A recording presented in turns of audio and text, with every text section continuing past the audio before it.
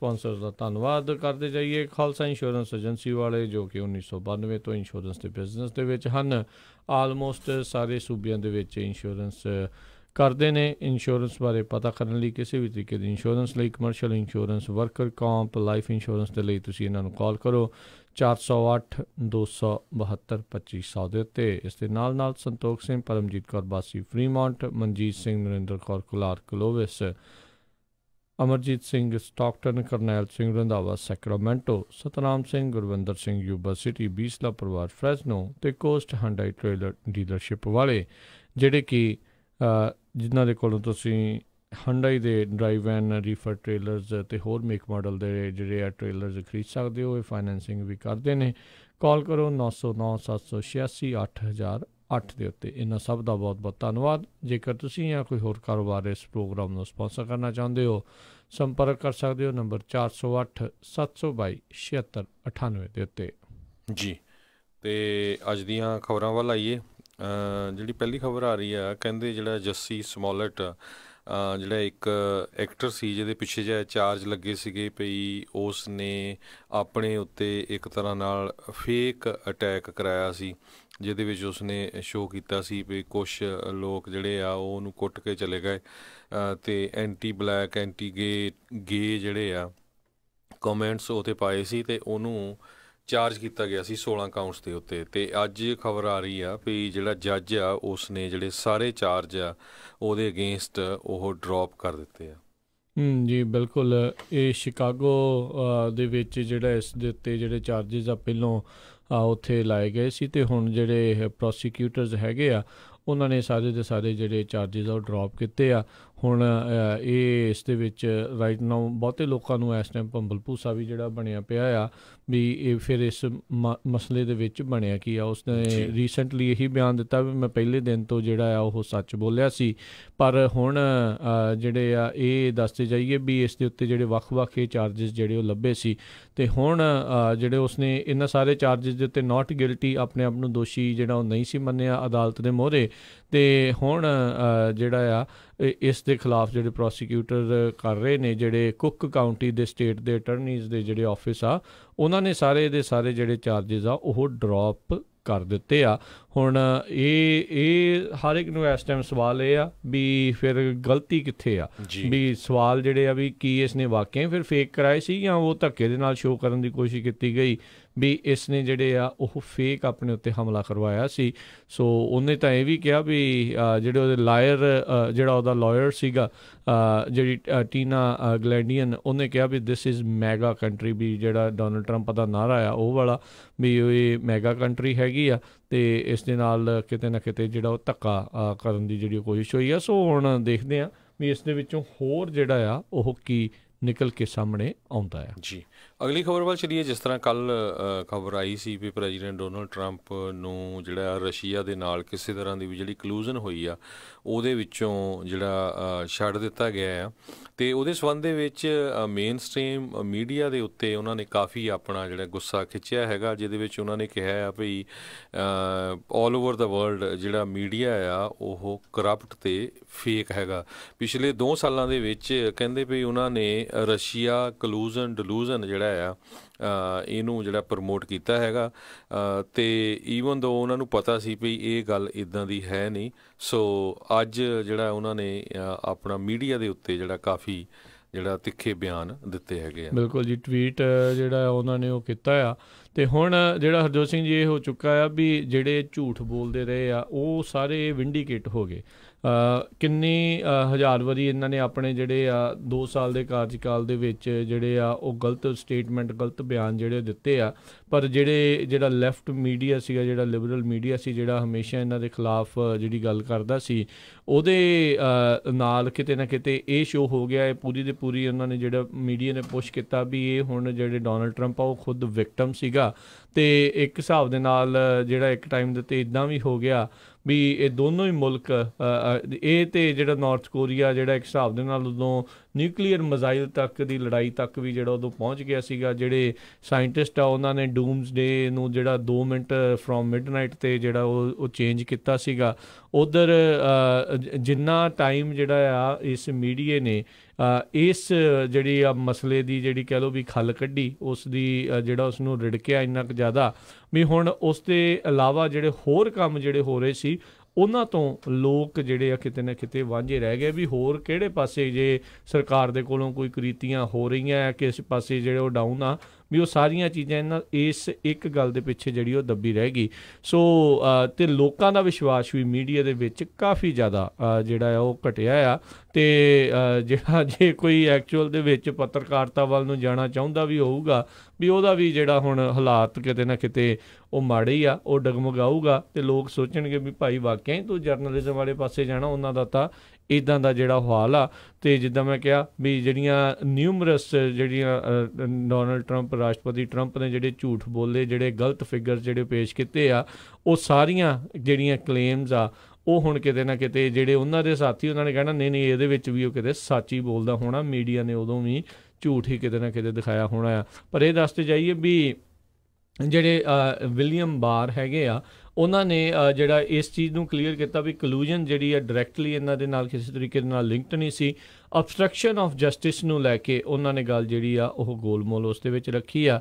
ਤੇ ਜਿਹੜੇ Democrat party ਵਾਲੇ ਆ, ਉਹ ਅਜੇ ਵੀ ਜਿਹੜੀ ਅਬਸਟ੍ਰਕਸ਼ਨ ਆਫ ਜਸਟਿਸ ਵਾਲੀ ਗੱਲ ਆ ਉਸ ਦੇ ਉੱਤੇ ਜਿਹੜੀ ਆ ਉਹ ਕੋਖ ਕਰਨਾ ਚਾਹੁੰਦੇ ਆ। ਹੁਣ ਜਿਹੜਾ ਪਿਛਲੇ ਦਿਨਾਂ ਦੇ ਵਿੱਚ ਜੇ ਦੱਸਦੇ ਜਾਈਏ ਵੀ ਇੱਕ ਰੈਜ਼ੋਲੂਸ਼ਨ ਹਾਊਸ ਦੇ ਵਿੱਚ ਪਾਸ ਹੋਇਆ ਸੀ, ਜਿਸ ਦੇ ਵਿੱਚ ਇਹ ਸਾਰੇ ਸਾਰੇ ਦੇ ਸਾਰੇ ਜਿਹੜੇ ਹਾਊਸ ਰਿਪਰੈਜ਼ੈਂਟੇਟਿਵ ਸੀ, ਉਹਨਾਂ ਨੇ ਕਿਹਾ ਸੀਗਾ ਵੀ ਇਹ ਜਿਹੜੀ ਰਿਪੋਰਟ ਆ ਉਸ ਨੂੰ ਪਬਲਿਕ ਕਰਨਾ ਚਾਹੀਦਾ ਆ। ਕੱਲ ਸੈਨੇਟ ਦੇ ਵਿੱਚ ਇੱਕ ਰੈਜ਼ੋਲੂਸ਼ਨ ਜਿਹੜੀ ਆ ਪੇਸ਼ ਕਰਨ ਦੀ ਕੋਸ਼ਿਸ਼ ਕੀਤੀ ਜਾ ਰਹੀ ਸੀ, ਪਰ ਉੱਥੇ ਜਿਹੜੇ ਮੈਜੋਰਟੀ ਲੀਡਰ ਨੇ Senate majority leader Mitch McConnell ਉਹਨਾਂ ਨੇ ਉਸ ਰੈਜ਼ੋਲੂਸ਼ਨ ਨੂੰ ਬਲੌਕ ਕਰ ਦਿੱਤਾ। ਉਸ ਰੈਜ਼ੋਲੂਸ਼ਨ ਦੇ ਵਿੱਚ ਇਹੀ ਸੀਗਾ ਵੀ ਇਸ ਰਿਪੋਰਟ ਨੂੰ ਪਬਲਿਕ ਜਨਤਕ ਜਿਹੜਾ ਕੀਤਾ ਜਾਵੇ ਐਟ ਲੀਸਟ ਕਹਿੰਦੇ ਕਾਂਗਰਸ ਤੱਕ ਤਾਂ ਜਿਹੜੀ ਉਹ ਪਹੁੰਚਾਈ ਜਾਵੇ। ਕੱਲ ਬਰਨੀ ਸੈਂਡਰਸ ਨੇ ਵੀ ਜਿਹੜਾ ਬਿਆਨ ਦਿੱਤਾ ਸੀ, ਕਹਿੰਦੇ ਵੀ ਅਸੀਂ ਵਿਲੀਅਮ ਬਾਰ ਤੋਂ ਕਨਕਲੂਜਨ ਸਟੇਟਮੈਂਟ ਨਹੀਂ ਸੀ ਮੰਗੀ। ਅਸੀਂ ਉਹਨਾਂ ਨੂੰ ਕਿਹਾ ਸੀਗਾ ਵੀ ਪੂਰੀ ਦੀ ਪੂਰੀ ਰਿਪੋਰਟ ਜਿਹੜੀ ਆ ਉਹ ਕਾਂਗਰਸ ਦੇ ਸਾਹਮਣੇ ਜਿਹੜੀ ਆ ਉਹ ਪੇਸ਼ ਕੀਤੀ ਜਾਵੇ ਨਾ ਕਿ ਅਸੀਂ ਤੁਹਾਡੀ رائے ਜਿਹੜੀ ਜਾਣਨ ਦੀ ਇਸ ਦੇ ਵਿੱਚ ਕੋਸ਼ਿਸ਼ ਕੀਤੀ ਸੀ ਸੋ ਹੁਣ ਦੇਖਣ ਵਾਲੀ ਗੱਲ ਰਹੂਗੀ ਵੀ ਮਿਊਲਰ ਇਨਵੈਸਟੀਗੇਸ਼ਨ ਕਦੀ ਜਨਤਕ ਜਿਹੜੀ ਉਹ ਹੋ ਸਕੇਗੀ ਕਿ ਨਹੀਂ ਉਧਰ ਜਿਹੜੇ ਡੈਮੋਕ੍ਰੇਟ ਪਾਰਟੀ ਵਾਲੇ ਆ ਹੁਣ ਉਸੇ ਤਰੀਕੇ ਦੀ ਜਿੱਦਾਂ ਰਾਸ਼ਟਰਪਤੀ ਟਰੰਪ ਨੇ ਆਪਣੇ ਕੈਂਪੇਨ ਦੇ ਵਿੱਚ ਜਿਹੜੀਆਂ ਰੈਲੀਆਂ ਦੇ ਵਿੱਚ ਕਿਹਾ ਸੀਗਾ ਰਸ਼ੀਆ ਨੂੰ ਵੀ ਭਾਈ ਹੈਲਰੀ ਕਲਿੰਟਨ ਦੀਆਂ ਈਮੇਲਾਂ ਲੱਭ ਕੇ ਦਿਓ ਤੇ ਹੁਣ ਡੈਮੋਕ੍ਰੇਟ ਰਸ਼ੀਆ ਵਾਲਿਆਂ ਨੂੰ ਜਿਹੜੇ ਉਹ ਕਹਦੇ ਵੀ ਭਾਈ ਸਾਨੂੰ ਇਹ ਰਿਪੋਰਟ ਹੀ ਜਿਹੜੀ ਉਹ ਜਨਤਕ ਕਰਕੇ ਜਿਹੜੀ ਦੇ ਦਿਓ, ਹੁਣ ਉਸ ਤਰੀਕੇ ਦੇ ਨਾਲ ਉਹ ਵੀ ਤੰਜ ਜਿਹੜੇ ਉਹ ਕੱਸ ਰਹੇ ਨੇ। ਸੋ ਲੈਟਸ ਸੀ ਵੀ ਅਜੇ ਇਸ ਮਸਲੇ ਨੇ ਹੋਰ ਕਿੰਨਾ ਕੁ ਜ਼ਿਆਦਾ ਜਿਹੜਾ ਆ ਉਹ ਰਿੜਕਿਆ ਜਾਣਾ ਆ, ਉਹ ਦੋਨੋਂ ਹੀ ਪਾਰਟੀਆਂ ਦੇ ਵੱਲੋਂ। ਡੈਮੋਕ੍ਰੇਟ ਪਾਰਟੀ ਵਾਲੇ ਇਸ ਮਸਲੇ ਦੇ ਵਿੱਚ ਪੂਰੀ ਤਰ੍ਹਾਂ ਜਿਹੜੇ ਉਹ ਥੱਲੇ ਲੱਗੇ ਨੇ ਤੇ ਕਿਤੇ ਨਾ ਕਿਤੇ ਡੋਨਲਡ ਟਰੰਪ ਜਿਹੜੀ ਆਪਣੀ ਰੀ-ਇਲੈਕਸ਼ਨ ਰਨ ਕਰਨਗੇ, ਉਹਨਾਂ ਨੂੰ ਇੱਕ ਬਹੁਤ ਹੀ ਮਜ਼ਬੂਤ ਪੁਆਇੰਟ ਜਿਹੜਾ ਆ, ਇਸ ਦੇ ਵਿੱਚ ਜਿਹੜਾ ਮਿਲਿਆ ਆ ਵੀ ਕਿਸੇ ਤਰੀਕੇ ਦੀ ਕਲੂਜਨ ਦੇ ਵਿੱਚ ਉਹ ਸ਼ਾਮਲ ਨਹੀਂ ਸੀਗੇ। ਉਹ ਬਿਲਕੁਲ ਪ੍ਰੈਜ਼ੀਡੈਂਟ ਡੋਨਲਡ ਟਰੰਪ ਨੇ ਮੀਡੀਆ ਨੂੰ ਲੋਕਾਂ ਦਾ ਦੁਸ਼ਮਣ ਕਿਹਾ ਹੈਗਾ ਆ। ਜੀ ਜੀ ਜੀ ਜੇ। ਦੱਸਦੀ ਜਾਈਏ ਕਹਿੰਦੇ ਭਈ ਨਿਊਯਾਰਕ ਟਾਈਮ ਦੇ ਵਿੱਚ 1200 ਦੇ ਕਰੀਬ ਜਿਹੜੇ ਆਰਟੀਕਲਸ ਆ ਉਹ ਰਸ਼ੀਅਨ ਕਲੂਜਨ ਦੇ ਸੰਬੰਧ ਦੇ ਵਿੱਚ ਜਿਹੜੇ ਛਾਪੇ ਗਏ ਪਿਛਲੇ 2 ਸਾਲਾਂ ਦੇ ਸਮੇਂ ਦੌਰਾਨ। ਤੇ ਸੇਮ ਟਾਈਮ ਤੇ ਕਹਿੰਦੇ ਜਿਹੜੇ ਮੇਨ ਮੀਡੀਆ ਹੈਗੇ ਮੇਨ ਟੀਵੀ ਚੈਨਲਸ ਆ, ਉਹਨਾਂ ਨੇ 20% ਟਾਈਮ ਜਿਹੜਾ ਸੀ, ਉਹ ਇਸ ਇਸ਼ੂ ਦੇ ਉੱਤੇ ਰੱਖਿਆ। ਸੋ ਇਹ ਜਿਹੜਾ ਇਸ਼ੂ ਸੀ, ਬਹੁਤ ਹੌਟ ਰੱਖਿਆ। ਸੋ ਹੁਣ ਜਿਹੜੇ ਕਈ ਰਿਪਬਲਿਕਨ ਆ, ਉਹ ਖਾਸ ਕਰਕੇ ਲਿੰਡਸੀ ਗ੍ਰਾਮ ਉਹ ਇਹ ਕਹਿੰਦਾ ਵੀ ਜਦੋਂ ਹੀ ਇਹ ਇਨਵੈਸਟੀਗੇਸ਼ਨ ਸ਼ੁਰੂ ਹੋਈ ਆ, ਪਹਿਲਾਂ ਜਿਹੜੀ ਆ, ਇਹ ਐਫਬੀਆਈ ਵੱਲੋਂ ਜਿਹੜੀ ਆ, ਕਿਸੇ ਤਰ੍ਹਾਂ ਜਿਹੜੀਆਂ ਗਲਤੀਆਂ ਹੋਈਆਂ, ਉਹਨਾਂ ਨੇ ਗਲਤ ਰਿਪੋਰਟ ਜਿਹੜੀ ਪੇਸ਼ ਕੀਤੀ ਆ, ਤਦੇ ਹੀ ਜਿਹੜੀ ਆ ਇਹ ਇਨਵੈਸਟੀਗੇਸ਼ਨ ਸ਼ੁਰੂ ਹੋਈ ਸੀ। ਤੇ ਹੁਣ ਉਹ ਅਟਾਰਨੀ ਜਨਰਲ ਬਾਰ ਨੂੰ ਕਹਿ ਰਹੇ ਆ ਵੀ ਤੁਹਾਨੂੰ ਇੱਕ ਸਪੈਸ਼ਲ ਕਾਉਂਸਲ ਹਾਇਰ ਕਰਕੇ ਤੇ ਉਹ ਸਾਰੇ ਜਿਹੜੇ ਲੋਕ ਇਨਵੋਲਵ ਸੀ, ਉਹਨਾਂ ਦੀ ਇਨਵੈਸਟੀਗੇਸ਼ਨ ਕਰਨੀ ਚਾਹੀਦੀ ਆ। ਜੀ, ਬਿਲਕੁਲ। ਹੁਣ ਪਹਿਲਾਂ ਉਹਨਾਂ ਨੇ ਕਰਾ ਲਿਆ ਹੁਣ ਇਹਨਾਂ ਦੀ ਜਿਹੜੀ ਉਹ ਵਾਰੀ ਆ ਤੇ ਆਪਣਾ ਇਹ ਜਿਹੜਾ ਜ਼ਰੂਰ ਜ਼ੋਰ ਜਿਹੜਾ ਉਹ ਲਾਉਣਗੇ। ਤੇ ਅਗਲੀ ਜਿਹੜੀ ਆ ਹਰਜੋਤ ਸਿੰਘ ਜੀ ਖਬਰ ਦੇ ਉੱਤੇ ਨਜ਼ਰ ਮਾਰਦੇ ਮਾਈਕਲ ਅਵਨਾਟੀ, ਜਿਹੜਾ ਕਿ ਸਟਾਰਮੀ ਡੈਨੀਅਲਜ਼ ਜਿਨੇ ਕਥਿਤ ਤੌਰ ਦੇ ਉੱਤੇ ਰਾਸ਼ਟਰਪਤੀ ਟਰੰਪ ਦੇ ਉੱਤੇ ਦੋਸ਼ ਲਾਏ ਸੀਗੇ, ਵੀ ਜਿਹੜਾ ਉਸਨੇ ਉਸ ਦੇ ਨਾਲ ਉਹਨਾਂ ਦੇ ਜਿਹੜੇ ਆ, ਉਹ ਵਿਆਹ ਤੋਂ ਬਾਹਰ ਜਿਹੜੇ ਆ ਸੰਬੰਧ ਜਿਹੜੇ ਉਹ ਰਹੇ ਆ, ਉਸ ਉਸ ਸਟਾਰਮੀ ਡੈਨੀਅਲ ਦਾ ਜਿਹੜਾ ਇਹ ਸਾਬਕਾ ਵਕੀਲ ਜਿਹੜਾ ਆ, ਉਸ ਦੇ ਉੱਤੇ 20 ਮਿਲੀਅਨ ਡਾਲਰ ਐਕਸਟੋਰਸ਼ਨ ਪੈਸੇ ਜਿਹੜੇ ਆ, ਹਥਿਆਉਣ ਦੀ ਜਿਹੜੀ ਆ, ਇੱਕ ਸਕੀਮ ਦੇ ਮਾਮਲੇ ਦੇ ਵਿੱਚ ਉਸ ਨੂੰ ਅਰੈਸਟ ਕੀਤਾ ਗਿਆ ਆ। 20 ਮਿਲੀਅਨ ਡਾਲਰ ਕਹਿੰਦੇ ਨਾਈਕੀ ਦੀ ਜਿਹੜੀ ਆ, ਉਹਨਾਂ ਦੇ ਕੋਲੋਂ ਇਸ ਨੇ ਹਥਿਆਉਣ ਦੀ ਕੋਸ਼ਿਸ਼ ਕੀਤੀ ਆ ਤੇ ਹੋਰ ਕਈ ਜਿਹੜੇ ਆ, ਬੈਂਕਾਂ ਨੂੰ ਡੀਫਰਾਡ ਕਰਨ ਦੀ ਜਿਹੜੀ ਆ ਕੋਸ਼ਿਸ਼ ਕੀਤੀ ਸੀਗੀ। ਸੋ ਹੁਣ ਜਿਹੜਾ ਆ, ਇਹ ਇੱਕ ਸੈਲੀਬ੍ਰਿਟੀ ਜਿਸ ਨੂੰ ਲਾਇਰ ਵੀ ਜਿਹੜਾ ਮੰਨਿਆ ਜਾਂਦਾ, ਕਿਉਂਕਿ ਇਹ ਵੀ ਅਕਸਰ ਜਿਹੜੀ ਆ, ਉਹ ਚਰਚਾਵਾਂ ਦੇ ਵਿੱਚ ਜਿਹੜਾ ਉਹ ਰਹਿੰਦਾ ਆ ਉਸ ਨੂੰ ਹੁਣ ਜਿਹੜਾ ਫੈਡਰਲ ਦਸਤੇ ਦੇ ਦੁਆਰਾ ਉਸ ਨੂੰ ਗ੍ਰਿਫਤਾਰ ਕਰ ਲਿਆ ਗਿਆ ਆ। ਜੀ, ਬਿਲਕੁਲ। ਉਹਨੂੰ ਡੀਫਰਾਡਿੰਗ ਦਾ ਬੈਂਕਸ ਦੇ ਕਰਕੇ ਜਿਹੜਾ ਆ ਚਾਰਜ ਕੀਤਾ ਗਿਆ ਆ। ਸਟਾਰਮੀ ਡੈਨੀਅਲਸ ਉਹ ਬੀਬੀ ਆ ਜਿਹਨੇ ਪ੍ਰੈਜ਼ੀਡੈਂਟ ਡੋਨਲਡ ਟਰੰਪ ਦੇ ਉੱਤੇ ਚਾਰजेस ਲਾਏ ਸੀ, ਜਿਹਦੇ ਵਿੱਚ ਇਹ ਵੀ ਆਈ ਸੀ ਪਈ ਉਹਨੂੰ ਪੈਸੇ ਦੇ ਕੇ ਜਿਹੜਾ ਇੱਕ ਤਰ੍ਹਾਂ ਨਾਲ ਚੁੱਪ ਕਰਾਇਆ ਗਿਆ ਸੀ। ਤੇ ਇੱਕ ਟਾਈਮ ਦੇ ਉੱਤੇ ਜਿਹੜਾ ਇਹ ਸਟੋਰੀ ਸਟੋਰਮੀ ਡੈਨੀਅਲਸ ਦਾ ਐਕਸ ਵਕੀਲ ਆ ਮਾਈਕਲ ਐਵਨੈਂਟੀ ਇਹ ਕਹਿੰਦਾ ਸੀ ਵੀ ਮੈਂ ਪ੍ਰੈਜ਼ੀਡੈਂਟ ਡੋਨਲਡ ਟਰੰਪ ਦੇ ਖਿਲਾਫ ਜਿਹੜੀ ਆ ਇਲੈਕਸ਼ਨ 2020 ਦੇ ਵਿੱਚ ਲੜਾਂਗਾ। ਜੀ ਬਿਲਕੁਲ ਤੇ ਉਦਾਂ ਕਹਿੰਦੇ ਵੀ ਜੇ ਚਾਰजेस ਇਸ ਦੇ ਉੱਤੇ ਸਾਬਤ ਹੋ ਜਾਂਦੇ ਆ ਤੇ 100 ਸਾਲ ਤੱਕ ਦੀ ਜਿਹੜੀ ਇਸ ਨੂੰ ਕੈਦ ਜਿਹੜੀ ਆ ਉਹ ਬੋਲ ਸਕਦੀ ਆ। ਜੀ। ਤੇ ਇਹ ਬਹੁਤਾ ਕੋਈ ਚੰਗਾ ਦਿਨ ਜਿਹੜਾ ਆ ਇਸ ਅਵਨਾਟੀ ਦੇ ਲਈ ਜਿਹੜਾ ਉਹ ਨਹੀਂ ਰਿਹਾ। ਅਗਲੀ ਜਿਹੜੀ ਆ, ਹਰਜੋਤ ਸਿੰਘ ਜੀ ਗੱਲ ਕਰਦੇ ਆ ਪੈਂਟਾਗਨ ਜਿਹੜਾ ਮਿਲਟਰੀ ਦੇ ਪਰਸਨਲ ਅਕਾਊਂਟ ਦੇ ਵਿੱਚੋਂ 1 ਬਿਲੀਅਨ ਡਾਲਰ ਜਿਹੜਾ ਆ, ਉਹ ਹੁਣ ਦੂਜੇ ਪਾਸੇ ਨੂੰ ਕੱਢ ਰਿਹਾ ਆ। ਤਾਂ ਜੋ ਜਿਹੜੀ 57 ਮੀਲ ਦੀ ਜਿਹੜੀ ਬਾਰਡਰ ਵਾਲਾ ਸਦਰਨ ਬਾਰਡਰ ਦੇ ਉੱਤੇ ਆ, ਉਸ ਨੂੰ ਬਣਾਈ ਜਾ ਸਕੇ। Not border wall border fence ਜਿਹੜੀ ਆ, ਉਹ ਬਣਾਈ ਜਾ ਸਕੇ। ਪਿਛਲੇ ਦਿਨਾਂ ਦੇ ਵਿੱਚ ਜਿਹੜੇ ਰਾਸ਼ਟਰਪਤੀ ਟਰੰਪ ਆ, ਉਹਨਾਂ ਨੇ ਨੈਸ਼ਨਲ ਐਮਰਜੈਂਸੀ ਇਸ ਦੇ ਬਾਬਤ ਜਿਹੜੀ ਘੋਸ਼ਿਤ ਕੀਤੀ ਸੀ, ਜਿਸ ਦੇ ਵਿੱਚ ਉਹਨਾਂ ਨੇ ਵੱਖ-ਵੱਖ ਜਿਹੜੀ ਫੰਡਿੰਗਸ ਆ, ਵੱਖ-ਵੱਖ ਡਿਪਾਰਟਮੈਂਟਸ ਦੇ ਵੱਲੋਂ ਉਸ ਨੂੰ ਇਸ ਪਾਸੇ ਵੱਲ ਨੂੰ ਡਾਈਵਰਟ ਕੀਤਾ ਸੀ। ਤੇ ਡਿਪਾਰਟਮੈਂਟ ਆਫ ਡਿਫੈਂਸ ਜਿਹੜਾ ਆ, ਉਹ 1 ਬਿਲੀਅਨ ਡਾਲਰ ਦੀ ਇਸ ਰਾਸ਼ੀ ਆ, ਉਸ ਨੂੰ ਸ਼ਿਫਟ ਕਰ ਰਿਹਾ ਆ, ਤਾਂ ਜੋ 57 ਮੀਲ ਦੀ ਇਹ ਜਿਹੜੀ ਬਾਰਡਰ ਦੀ ਫੈਂਸ ਆ ਉਸ ਨੂੰ ਮੈਕਸੀਕੋ ਦੇ ਨਾਲ ਜਿਹੜਾ ਆ, ਉਹ ਬਣਾਇਆ ਜਾ ਸਕੇ। ਸੋ ਇਹ ਪੈਂਟਾਗਨ ਨੇ ਕਿਹਾ ਆ ਵੀ ਇਸ ਜਿਹੜਾ 1 ਬਿਲੀਅਨ ਡਾਲਰ ਇਸ ਦੇ ਵਿੱਚੋਂ ਜਿਹੜਾ ਲਿਆ ਜਾ ਰਿਹਾ, ਇਸ ਦੇ ਨਾਲ ਮਿਲਟਰੀ ਦੀ ਰੈਡੀਨੈਸ ਦੇ ਉੱਤੇ ਕਿਸੇ ਤਰੀਕੇ ਦਾ ਵੀ ਹਮੇਸ਼ਾ ਜਿਹੜੀ ਤਿਆਰ ਬਰ ਤਿਆਰ ਰਹਿੰਦੀ ਆ, ਉਸ ਦੇ ਉੱਤੇ ਕਿਸੇ ਵੀ ਤਰੀਕੇ ਦਾ ਕੋਈ ਪ੍ਰਭਾਵ ਜਿਹੜਾ ਆ, ਉਹ ਨਹੀਂ ਪਵੇਗਾ। ਤੇ ਮਿਲਟਰੀ ਕੰਸਟਰਕਸ਼ਨ ਜਿਹੜੀ ਬਾਰਡਰ ਵਾਲ ਦੇ ਉੱਤੇ ਹੋਣੀ ਆ ਤੇ ਉਹ ਕਹਿੰਦੇ ਵੀ ਸਾਡੇ ਲੋਕਾਂ ਦੇ ਐਕਸਪੈਂਸ ਦੇ ਉੱਤੇ ਨਹੀਂ ਹੋਊਗੀ ਤੇ ਸਾਡੀ ਰੈਡੀਨੈਸ ਤੇ ਸਾਡੀ ਮਾਡਰਨਾਈਜੇਸ਼ਨ ਉਸ ਦੇ ਉੱਤੇ ਇਸ ਦਾ ਕਿਸੇ ਤਰੀਕੇ ਦਾ ਵੀ ਅਸਰ ਨਹੀਂ ਹੋਵੇਗਾ। ਜਿਹੜੇ defence acting defence secretary Patrick ਜਿਹੜੇ ਸ਼ੈਨ ਹੈ ਨਾ ਉਹਨਾਂ ਨੇ ਕਾਂਗਰਸ ਦੇ ਮੈਂਬਰਸ ਨੂੰ ਇਸ ਦੇ ਬਾਰੇ ਅੱਜ ਜਿਹੜੀ ਉਹ ਜਾਣਕਾਰੀ ਦਿੱਤੀ ਆ। ਜੀ, ਸੋ ਬਿਲਕੁਲ ਇਹਦੇ ਨਾਲ ਲੱਗਦਾ ਵੀ ਬਾਰਡਰ ਦੇ ਉੱਤੇ ਵੀ ਕੰਮ ਜਿਹੜਾ ਆ, ਇਹ ਜਿਹੜੇ ਬੈਰੀਅਰ ਬਣਾਉਣ ਦਾ ਬਹੁਤ ਜਲਦੀ ਜਿਹੜਾ ਸ਼ੁਰੂ ਹੋ ਜਾਊਗਾ।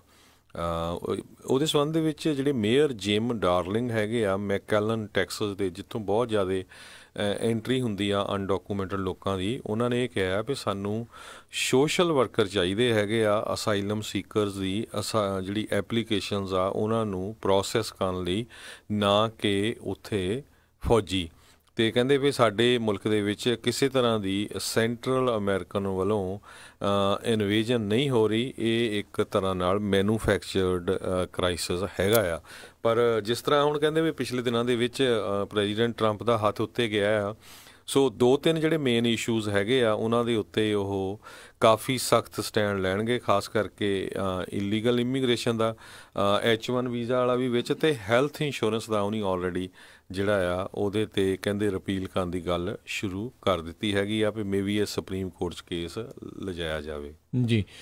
ਤੇ ਇਸੇ ਬਾਬਤ ਜਿਹੜੇ ਪੈਟ੍ਰਿਕ ਸ਼ੈਨਾਹਨ ਉਹਨਾਂ ਨੇ ਜਿਹੜਾ ਕਾਂਗਰਸ ਦੇ ਸਾਹਮਣੇ ਜਿਹੜਾ ਟੈਸਟੀਫਾਈ ਜਿਹੜਾ ਉਹ ਕਰ ਰਿਹਾ ਤਾਂ ਉਹਨਾਂ ਨੇ ਕਿਹਾ ਵੀ ਜਿਹੜਾ US army corps of engineer ਆ ਉਹ 1 ਬਿਲੀਅਨ ਡਾਲਰ ਇਸ ਨੂੰ ਸਪੋਰਟ ਕਰਨ ਦੇ ਲਈ, ਵਰਤਣ ਦੇ ਲਈ ਜਿਹੜਾ ਯੂਜ਼ ਕਰਨਾ ਸ਼ੁਰੂ ਕਰਨਗੇ। Department of homeland security custom border patrol ਉਹਨਾਂ ਦੇ ਨਾਲ, ਇਹਨਾਂ ਦੋ ਮਹਿਕਮਿਆਂ ਦੇ ਨਾਲ ਮਿਲ ਕੇ ਇਹ ਜਿਹੜਾ 1 ਬਿਲੀਅਨ ਡਾਲਰ ਆ ਉਸ ਨੂੰ ਵਰਤਿਆ ਜਾਵੇਗਾ। ਸੋ ਇਹ ਦੇਖਦੇ ਆ ਵੀ ਇਹ ਕੀ ਹੋਊਗਾ। ਇਹ 18 ਫੁੱਟ ਉੱਚੀ ਜਿਹੜੀ ਫੈਂਸ ਆ, ਉਹ 57 ਮੀਲ ਤੱਕ ਜਿਹੜੀ ਉਹ ਬਣਾਈ ਜਾਊਗੀ। ਜਿਸ ਦੇ ਵਿੱਚ ਜਿਹੜੀ ਪੈਡੈਸਟਰੀਅਨ ਫੈਂਸਿੰਗ ਵੀ ਜਿਹੜਾ ਬੰਦਾ ਤੁਰ ਕੇ ਜਿਹੜਾ ਵਿੱਚੋਂ ਦੀ ਉਧਰੋਂ ਦੀ ਨਾਲ ਲੰਘ ਸਕੇ, ਉਹ ਚੀਜ਼ ਹੋਊਗੀ ਤੇ ਜਿਹੜੀ ਉਸ ਦੇ ird-gird ਬਾਰਡਰ ਦੇ ird-gird ਜਿਹੜੀਆਂ ਰੋਡਸ ਆ, ਜਾਂ ਤਾਂ ਤਾਂ ਜੋ ਜਿਹੜੇ ਸੀਬੀਪੀ ਵਾਲੇ ਉਹਨਾਂ ਨੂੰ ਗਸ਼ਤ ਕਰਨੀ ਜਿਹੜੀ ਆ ਉੱਥੇ ਆਸਾਨੀ ਜਿਹੜੀ ਹੋਵੇ, ਉਹ ਉਸ ਮਾਮਲੇ ਦੇ ਵਿੱਚ ਉੱਥੇ ਲਾਈਟਾਂ ਇੰਸਟਾਲ ਕਰਨ ਦੇ ਵਿੱਚ ਯੂਮਾ ਤੇ ਅਲਪਾਸੋ ਸੈਕਟਰ ਆ, ਇਸ ਦੇ ਵਿੱਚ ਇਹ ਕੰਸਟਰਕਸ਼ਨ ਦਾ ਕੰਮ ਜਿਹੜਾ ਉੱਥੇ ਸ਼ੁਰੂ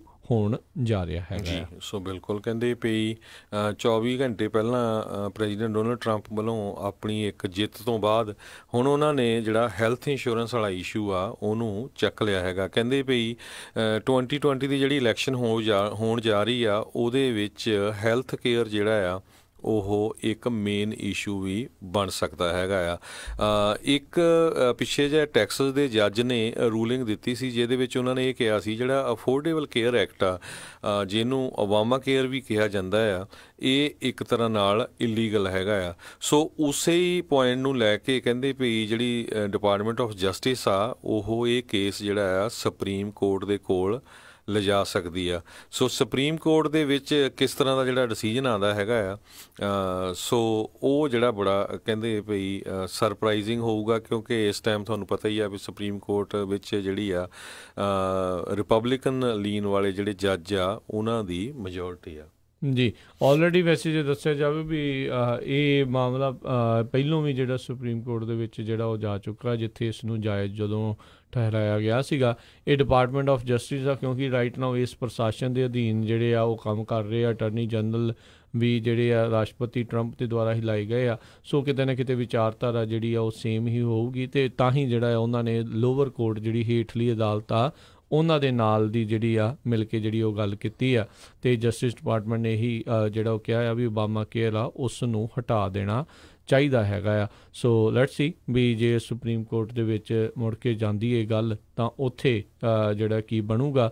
ਵੈਸੇ ਤਾਂ ਪਿਛਲੇ ਜਿਹੜੀ ਇਲੈਕਸ਼ਨ ਦੇ ਵਿੱਚ ਵੀ ਇਸ ਨੂੰ ਮੇਨ ਇਸ਼ੂ ਹੀ ਜਿਹੜਾ ਡੋਨਲਡ ਟਰੰਪ ਨੇ ਜਿਹੜਾ ਉਹ ਬਣਾਇਆ ਸੀਗਾ, ਜਿਸ ਦੇ ਵਿੱਚ ਕਿਹਾ ਵੀ ਮੈਂ ਪਹਿਲੇ ਦਿਨ ਆਉਂਦਿਆਂ ਹੀ ਸਭ ਤੋਂ ਪਹਿਲਾਂ ਇਹੀ ਕੰਮ ਕਰਨਾ ਰਿਪੀਲ ਤੇ ਰਿਪਲੇਸ ਤੇ ਬੁਰੀ ਤਰ੍ਹਾਂ ਜਿਹੜੇ ਆ ਉਹ ਫਲॉप ਹੋਏ ਸੀ, ਜਦ ਕਿ ਉਸ ਟਾਈਮ ਦੇ ਉੱਤੇ ਇਹਨਾਂ ਦੇ ਕੋਲ ਦੋਨਾਂ ਹੀ ਸਦਨਾਂ ਦੇ ਵਿੱਚ ਮੈਜੋਰਟੀ ਸੀਗੀ। ਹਾਊਸ ਦੇ ਵਿੱਚ ਵੀ ਤੇ ਸੈਨੇਟ ਦੇ ਵਿੱਚ ਵੀ ਉਦੋਂ ਇਹ ਕਰਨ ਦੇ ਵਿੱਚ ਨਾਕਾਮਯਾਬ ਰਹੇ ਸੀ।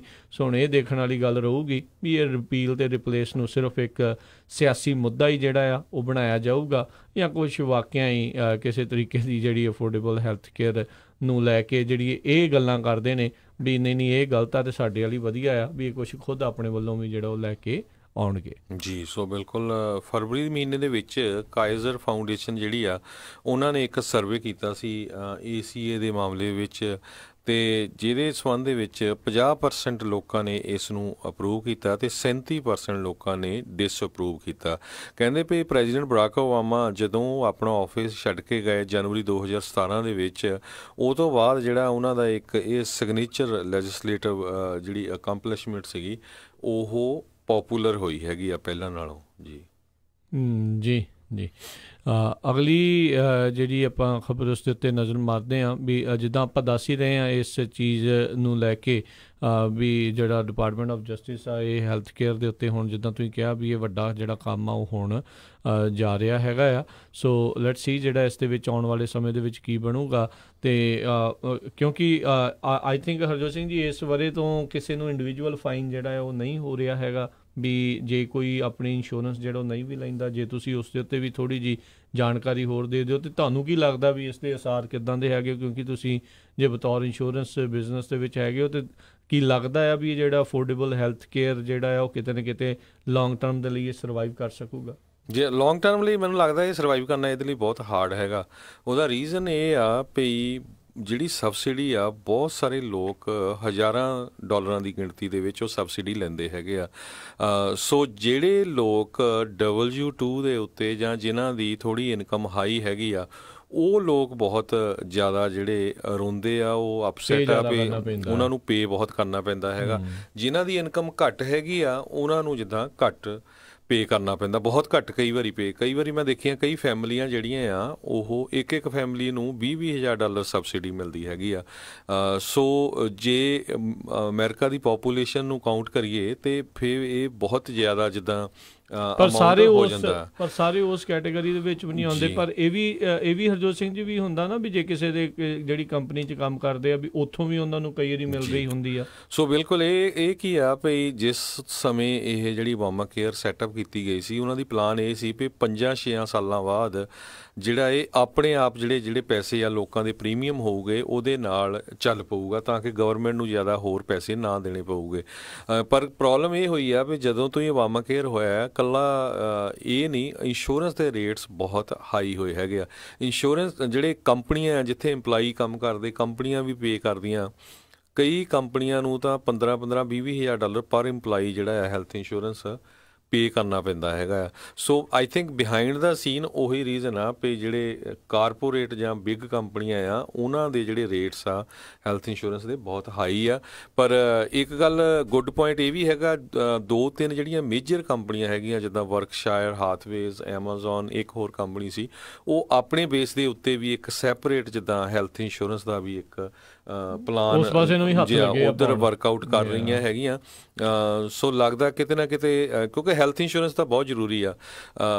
ਦੂਸਰਾ ਇਹ ਆ ਵੀ ਜਿਹੜਾ ਮੇਨ ਪੁਆਇੰਟ ਇਹ ਸੀ ਵੀ ਜਦੋਂ ਵਾਮਾ ਕੇਅਰ ਹੈ ਨਹੀਂ ਸੀ ਜੇ ਤੁਹਾਨੂੰ ਕਿਸੇ ਨੂੰ ਵੀ ਪ੍ਰੀ ਐਗਜ਼ਿਸਟਿੰਗ ਕੰਡੀਸ਼ਨ ਹੁੰਦੀ ਸੀ ਤਾਂ ਤੁਹਾਨੂੰ ਇੰਸ਼ੋਰੈਂਸ ਮਿਲਦੀ ਨਹੀਂ ਸੀ।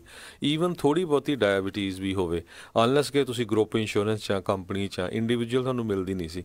ਪਰ ਉਸ ਇਸ਼ੂ ਤੇ ਜ਼ਰੂਰ ਈਵਨ ਪ੍ਰੈਜ਼ੀਡੈਂਟ ਟਰੰਪ ਜਾਂ ਹੋਰ ਰਿਪਬਲਿਕਨ ਵੀ ਕਹਿੰਦੇ ਆ ਵੀ ਜੇ ਇਹਦੇ ਵਿੱਚ ਆਪਾਂ ਇਹਨੂੰ ਰਿਵਾਈਜ਼ ਕਰਨਾ ਆ ਤੇ ਉਹ ਆਪਾਂ ਚੀਜ਼ ਜ਼ਰੂਰ ਰੱਖਾਂਗੇ ਪ੍ਰੀ ਐਗਜ਼ਿਸਟਿੰਗ ਕੰਡੀਸ਼ਨ ਵਾਲੇ ਨੂੰ ਹੈਲਥ ਇੰਸ਼ੋਰੈਂਸ ਜ਼ਰੂਰ ਮਿਲੇ।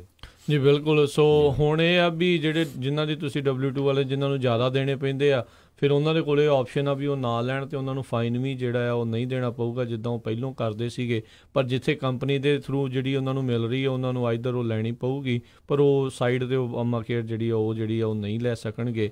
ਸੋ ਮੇਨ ਮਕਸਦ ਤਾਂ ਜੋ ਉਸ ਟਾਈਮ ਦੇ ਉੱਤੇ ਜਿਹੜੇ ਰਾਸ਼ਟਰਪਤੀ ਬਾਮਾ ਦਾ ਇਹੀ ਸੀਗਾ ਵੀ ਜਿਹੜੇ ਜਿਨ੍ਹਾਂ ਦੇ ਕੋਲ ਅਫੋਰਡ ਨਹੀਂ ਸੀ ਕਰ ਸਕਦੇ ਘੱਟ ਵੇਤਨ ਵਾਲੇ ਜਿਹੜੇ ਖਾਸ ਕਰਕੇ ਲੋਕ ਆ ਕਿਉਂਕਿ ਉਹਨਾਂ ਦੇ ਲਈ ਹੈ ਬਿਮਾਰ ਹੋਣਾ ਇੱਕ ਕੋਈ ਉਹਨਾਂ ਦੇ ਕੋਲ ਉਹ ਨਹੀਂ ਸੀਗਾ ਵੀ ਅਸੀਂ ਬਿਮਾਰ ਹੋ ਸਕਦੇ ਆ ਪਰ ਇੱਕ ਇਹ ਵੀ ਪ੍ਰੋਬਲਮ ਆਈ ਹੈ ਵੀ ਇਹਦੇ ਨਾਲ ਵੀ ਜਦੋਂ ਬੰਦੇ ਨੂੰ ਥੋੜਾ ਬਹੁਤਾ ਜ਼ੁਕਾਮ ਵੀ ਹੁੰਦਾ ਤਾਂ ਵੀ ਬੰਦਾ ਹਸਪਤਾਲ ਨੂੰ ਭੱਜ ਜਾਂਦਾ ਆ। ਬੰਦੇ ਨੂੰ ਜੇ ਕੋਈ ਵਰਤੋਂ ਜੇ ਕੋਈ ਚੀਜ਼ ਹੈਗੀ ਆ ਤੇ ਉਸ ਦੀ ਸਹੀ ਵਰਤੋਂ ਕਰਨੀ ਚਾਹੀਦੀ ਨਾ ਕਿ ਉਸ ਦੇ ਉੱਤੇ ਭਾਰ ਪਾਉਣਾ ਚਾਹੀਦਾ ਆ। ਸੋ ਜਦੋਂ ਜੋ ਸਾਰਿਆਂ ਨੂੰ ਜਿਹੜੇ ਜ਼ਰੂਰਤਮੰਦਾਂ ਨੂੰ ਐਕਚੁਅਲ ਦੇ ਵਿੱਚ ਜਿਹੜੀ ਉਹ ਮਿਲ ਸਕੇ। ਸੋ ਜਦੋਂ ਓਬਾਮਾ ਕੇ ਨਹੀਂ ਹੁੰਦੀ ਸੀ ਜੇ ਕਿਸੇ ਕੋ ਹੈਲਥ ਇੰਸ਼ੋਰੈਂਸ ਸੀਗੀ ਵੀ ਜਾਂ ਨਹੀਂ ਵੀ ਸੀ ਉਹ ਡਾਕਟਰ ਕੋ ਪਹਿਲਾਂ ਜਾਂਦਾ ਸੀ। ਹੁਣ ਕੀ ਹੁੰਦਾ ਜਿਨ੍ਹਾਂ ਕੋ ਹੁੰਦੀ ਉਹ ਸਿੱਧੇ ਹਸਪੀਟਲ ਜਾਂਦੇ ਤੇ ਹਸਪੀਟਲ ਵਾਲੇ ਜਿਹੜੇ ਆ ਹਜ਼ਾਰਾਂ ਦੇ ਹਿਸਾਬ ਨਾਲ ਬੇਲਾਂ ਬਣਾਉਂਦੇ ਆ ਤੇ ਉਹ ਫਿਰ ਇੰਸ਼ੋਰੈਂਸ ਕੰਪਨੀਆਂ ਪੇ ਕਰਦੀਆਂ ਫਿਰ ਇੰਸ਼ੋਰੈਂਸ ਕੰਪਨੀਆਂ ਜਿਹੜੇ ਆ ਉਹਨਾਂ ਨੂੰ ਰਗੜਾ ਹੁੰਦਾ। ਸੋ ਇਸ ਸਾਲ ਜਿਹੜਾ 2019 ਦਾ ਜਿਹੜਾ ਟੈਕਸ 2020 ਚ ਭਰ ਹੋਣਾ ਆ ਫਿਰ ਉਹਨਾਂ ਨੇ ਕੀ ਕੀਤਾ ਹੈ ਵੀ ਇਹ ਫਾਈਨ ਜਿਹੜਾ ਹਟਾ ਦਿੱਤਾ ਹੈ। ਜੇ ਹੁਣ ਇਹ ਫਾਈਨ ਹਟਾਤਾ ਜਿਹੜੇ ਲੋਕਾਂ ਦੀ ਜਿਹੜੀ ਸੈਲਰੀ ਬਹੁਤ ਜ਼ਿਆਦਾ ਆ ਜਾਂ ਜਿਹੜੇ ਯੰਗ ਹੈਗੇ ਆ ਜਿਨ੍ਹਾਂ ਨੂੰ ਲੱਗਦਾ ਵੀ ਅਸੀਂ ਨਹੀਂ ਹਸਪਤਾਲ ਜਾਣਾ ਜੇ ਉਹ ਡ੍ਰੌਪ ਕਰ ਜਾਂਦੇ ਆ ਇੰਸ਼ੋਰੈਂਸ ਹੋਣੇ ਬਹੁਤ ਸਾਰੇ ਜਿਹੜੀਆਂ ਸਟੇਟਸ ਆ ਇਸ ਇਸ਼ੂ ਤੇ ਵਾਚ ਕਰ ਰਹੀਆਂ ਜੇ ਯੰਗ ਲੋਕ ਜਿਹੜੇ 35 40 ਸਾਲ ਤੋਂ ਥੱਲੇ ਦੇ ਇੰਸ਼ੋਰੈਂਸ ਡ੍ਰੌਪ ਕਰ ਜਾਂਦੇ ਨਹੀਂ ਲੈਂਦੇ ਤੇ ਸਿਰਫ ਜਿਹੜੇ ਬਿਮਾਰ ਲੋਕ ਆ ਜਾਂ 40 45 ਸਾਲ ਤੋਂ ਉੱਪਰ ਵਾਲੀ ਲੈਂਦੇ ਜਿਨ੍ਹਾਂ ਨੇ ਜਿਨ੍ਹਾਂ ਦੇ ਆਸ ਆ ਵੀ ਉਹ ਡਾਕਟਰ ਕੋ ਜਾਂ ਹਸਪਤਾਲ ਕੋ ਜਾਊਗੇ ਫਿਰ ਇਹ ਜਿਹੜਾ ਸਿਸਟਮ ਆ ਟੋਟਲੀ ਫੇਲ ਹੋਊਗਾ ਕਿਉਂਕਿ ਉਹਦੇ ਨਾਲ ਕੀ ਹੋਣਾ ਆ ਫਿਰ ਉਹ ਜਿਹੜਾ ਪੂਲ ਆ। ਰੀਜ਼ਨ ਤਾਂ ਇਹ ਸੀ ਨਾ ਵੀ ਪੂਲ ਇਸ ਹਿਸਾਬ ਨਾਲ ਬਣੂਗਾ ਜਿਹੜਾ ਜੰਗ ਬੰਦਾ ਜੇ ਨਾ ਵੀ ਜਾਵੇ ਉਹਦਾ ਪ੍ਰੀਮੀਅਮ ਆਊਗਾ ਉਹ ਜਿਹੜਾ ਥੋੜਾ 올ਡ ਬੰਦਾ ਉਹਦੇ ਪ੍ਰੀਮੀਅਮ ਦੇ ਵਿੱਚ ਉਹ ਕੰਪਨਸੇਟ ਹੋ ਜਾਊਗਾ। ਸੋ ਜੇ ਬਿਮਾਰਾਂ ਦਾ ਹੀ ਪੂਰਾ ਪੂਲ ਬਣ ਗਿਆ ਤੇ ਫਿਰ ਉਹ ਰੇਟ ਜਿਹੜੇ ਇੰਸ਼ੋਰੈਂਸ ਦੇ ਬਹੁਤ ਹਾਈ ਹੋ ਜਾਣੇ ਆ। ਹੋਣਗੇ ਬਿਲਕੁਲ। ਤੇ ਫਿਰ ਦਿਵਾਲੀਆ ਨਿਕਲਣ ਵਾਲੀ ਜਿਹੜੀ ਉਹ ਗੱਲ ਹੋਊਗੀ। ਸੋ ਆਈ ਥਿੰਕ ਉਦੋਂ ਜਿਹੜਾ ਇੰਡੀਵਿਜੂਅਲ ਮੈਂਡੇਟ ਲਿਆਂਦਾ ਵੀ ਤਾਂ ਗਿਆ ਸੀਗਾ ਵੀ ਭਾਈ ਤੁਹਾਨੂੰ ਕਰਾਉਣੀ ਹੋਈ ਪੈਣੀ ਜੇ ਨਹੀਂ ਕਰਾਉਂਦੇ ਆ ਤਾਂ ਫਿਰ ਤੁਹਾਨੂੰ ਜਿਹੜਾ ਫਾਈਨ ਦੇਣਾ ਪਊਗਾ। ਹੁਣ ਫਾਈਨ ਹਟਾ ਕੇ ਲੋਕਾਂ ਦੇ ਸਿਰ ਤੋਂ ਇੱਕ ਹਿਸਾਬ ਦੇ ਨਾਲ ਜਿਹੜੀ ਉਹ ਤਲਵਾਰ ਜਿਹੜੀ ਆ ਉਹ ਹਟ ਗਈ ਆ। ਤੇ ਉਹ ਜਿਹੜੇ ਲੋਕ ਨਹੀਂ ਕਰਾਉਣਗੇ। ਸੋ ਜਿਨ੍ਹਾਂ ਦਾ ਤਾਂ ਠੀਕ ਠਾਕ ਦੇ ਵਿੱਚ ਹੁੰਦਾ ਹੋਇਆ ਉਹ ਤਾਂ ਚਲੋ ਬੰਦਾ ਕਹਿੰਦਾ ਵੀ ਚੱਲ ਵੇਲੇ ਕੋਲੇ ਜੇ ਰੱਬ ਨਾ ਕਰੇ ਕੁਝ ਹੋਵੇ ਤਾਂ ਬੰਦਾ ਕਰਾ ਲੇਗਾ ਪਰ ਲੈਟਸ ਸੀ ਜਿਹੜਾ ਇਸ ਦੇ ਵਿੱਚ ਕੀ ਹੋਊਗਾ। ਪਰ ਓਵਰਆਲ ਫਿਊਚਰ ਅਜੇ ਵੀ ਇਸ ਦਾ ਡਾਵਾਡੋਲ ਹੀ ਜਿਹੜਾ ਉਹ ਨਜ਼ਰ ਆ ਰਿਹਾ ਹੈਗਾ ਹਾਂਜੀ। ਤੇ ਇੱਕ ਹਰਜੋਤ ਸਿੰਘ ਜੀ ਆਪਾਂ ਬ੍ਰੇਕ ਲੈਨੇ ਆ ਬ੍ਰੇਕ ਤੋਂ ਬਾਅਦ ਮੁੜ ਕੇ ਫਿਰ ਵਾਪਸ ਜਿਹੜਾ ਆਉਂਦੇ ਆ ਤੇ ਇਦਾਂ ਹੀ ਪ੍ਰੋਗਰਾਮ ਜਿਹੜਾ ਉਹ ਚੱਲਦਾ ਰਹੇਗਾ। ਜੀ।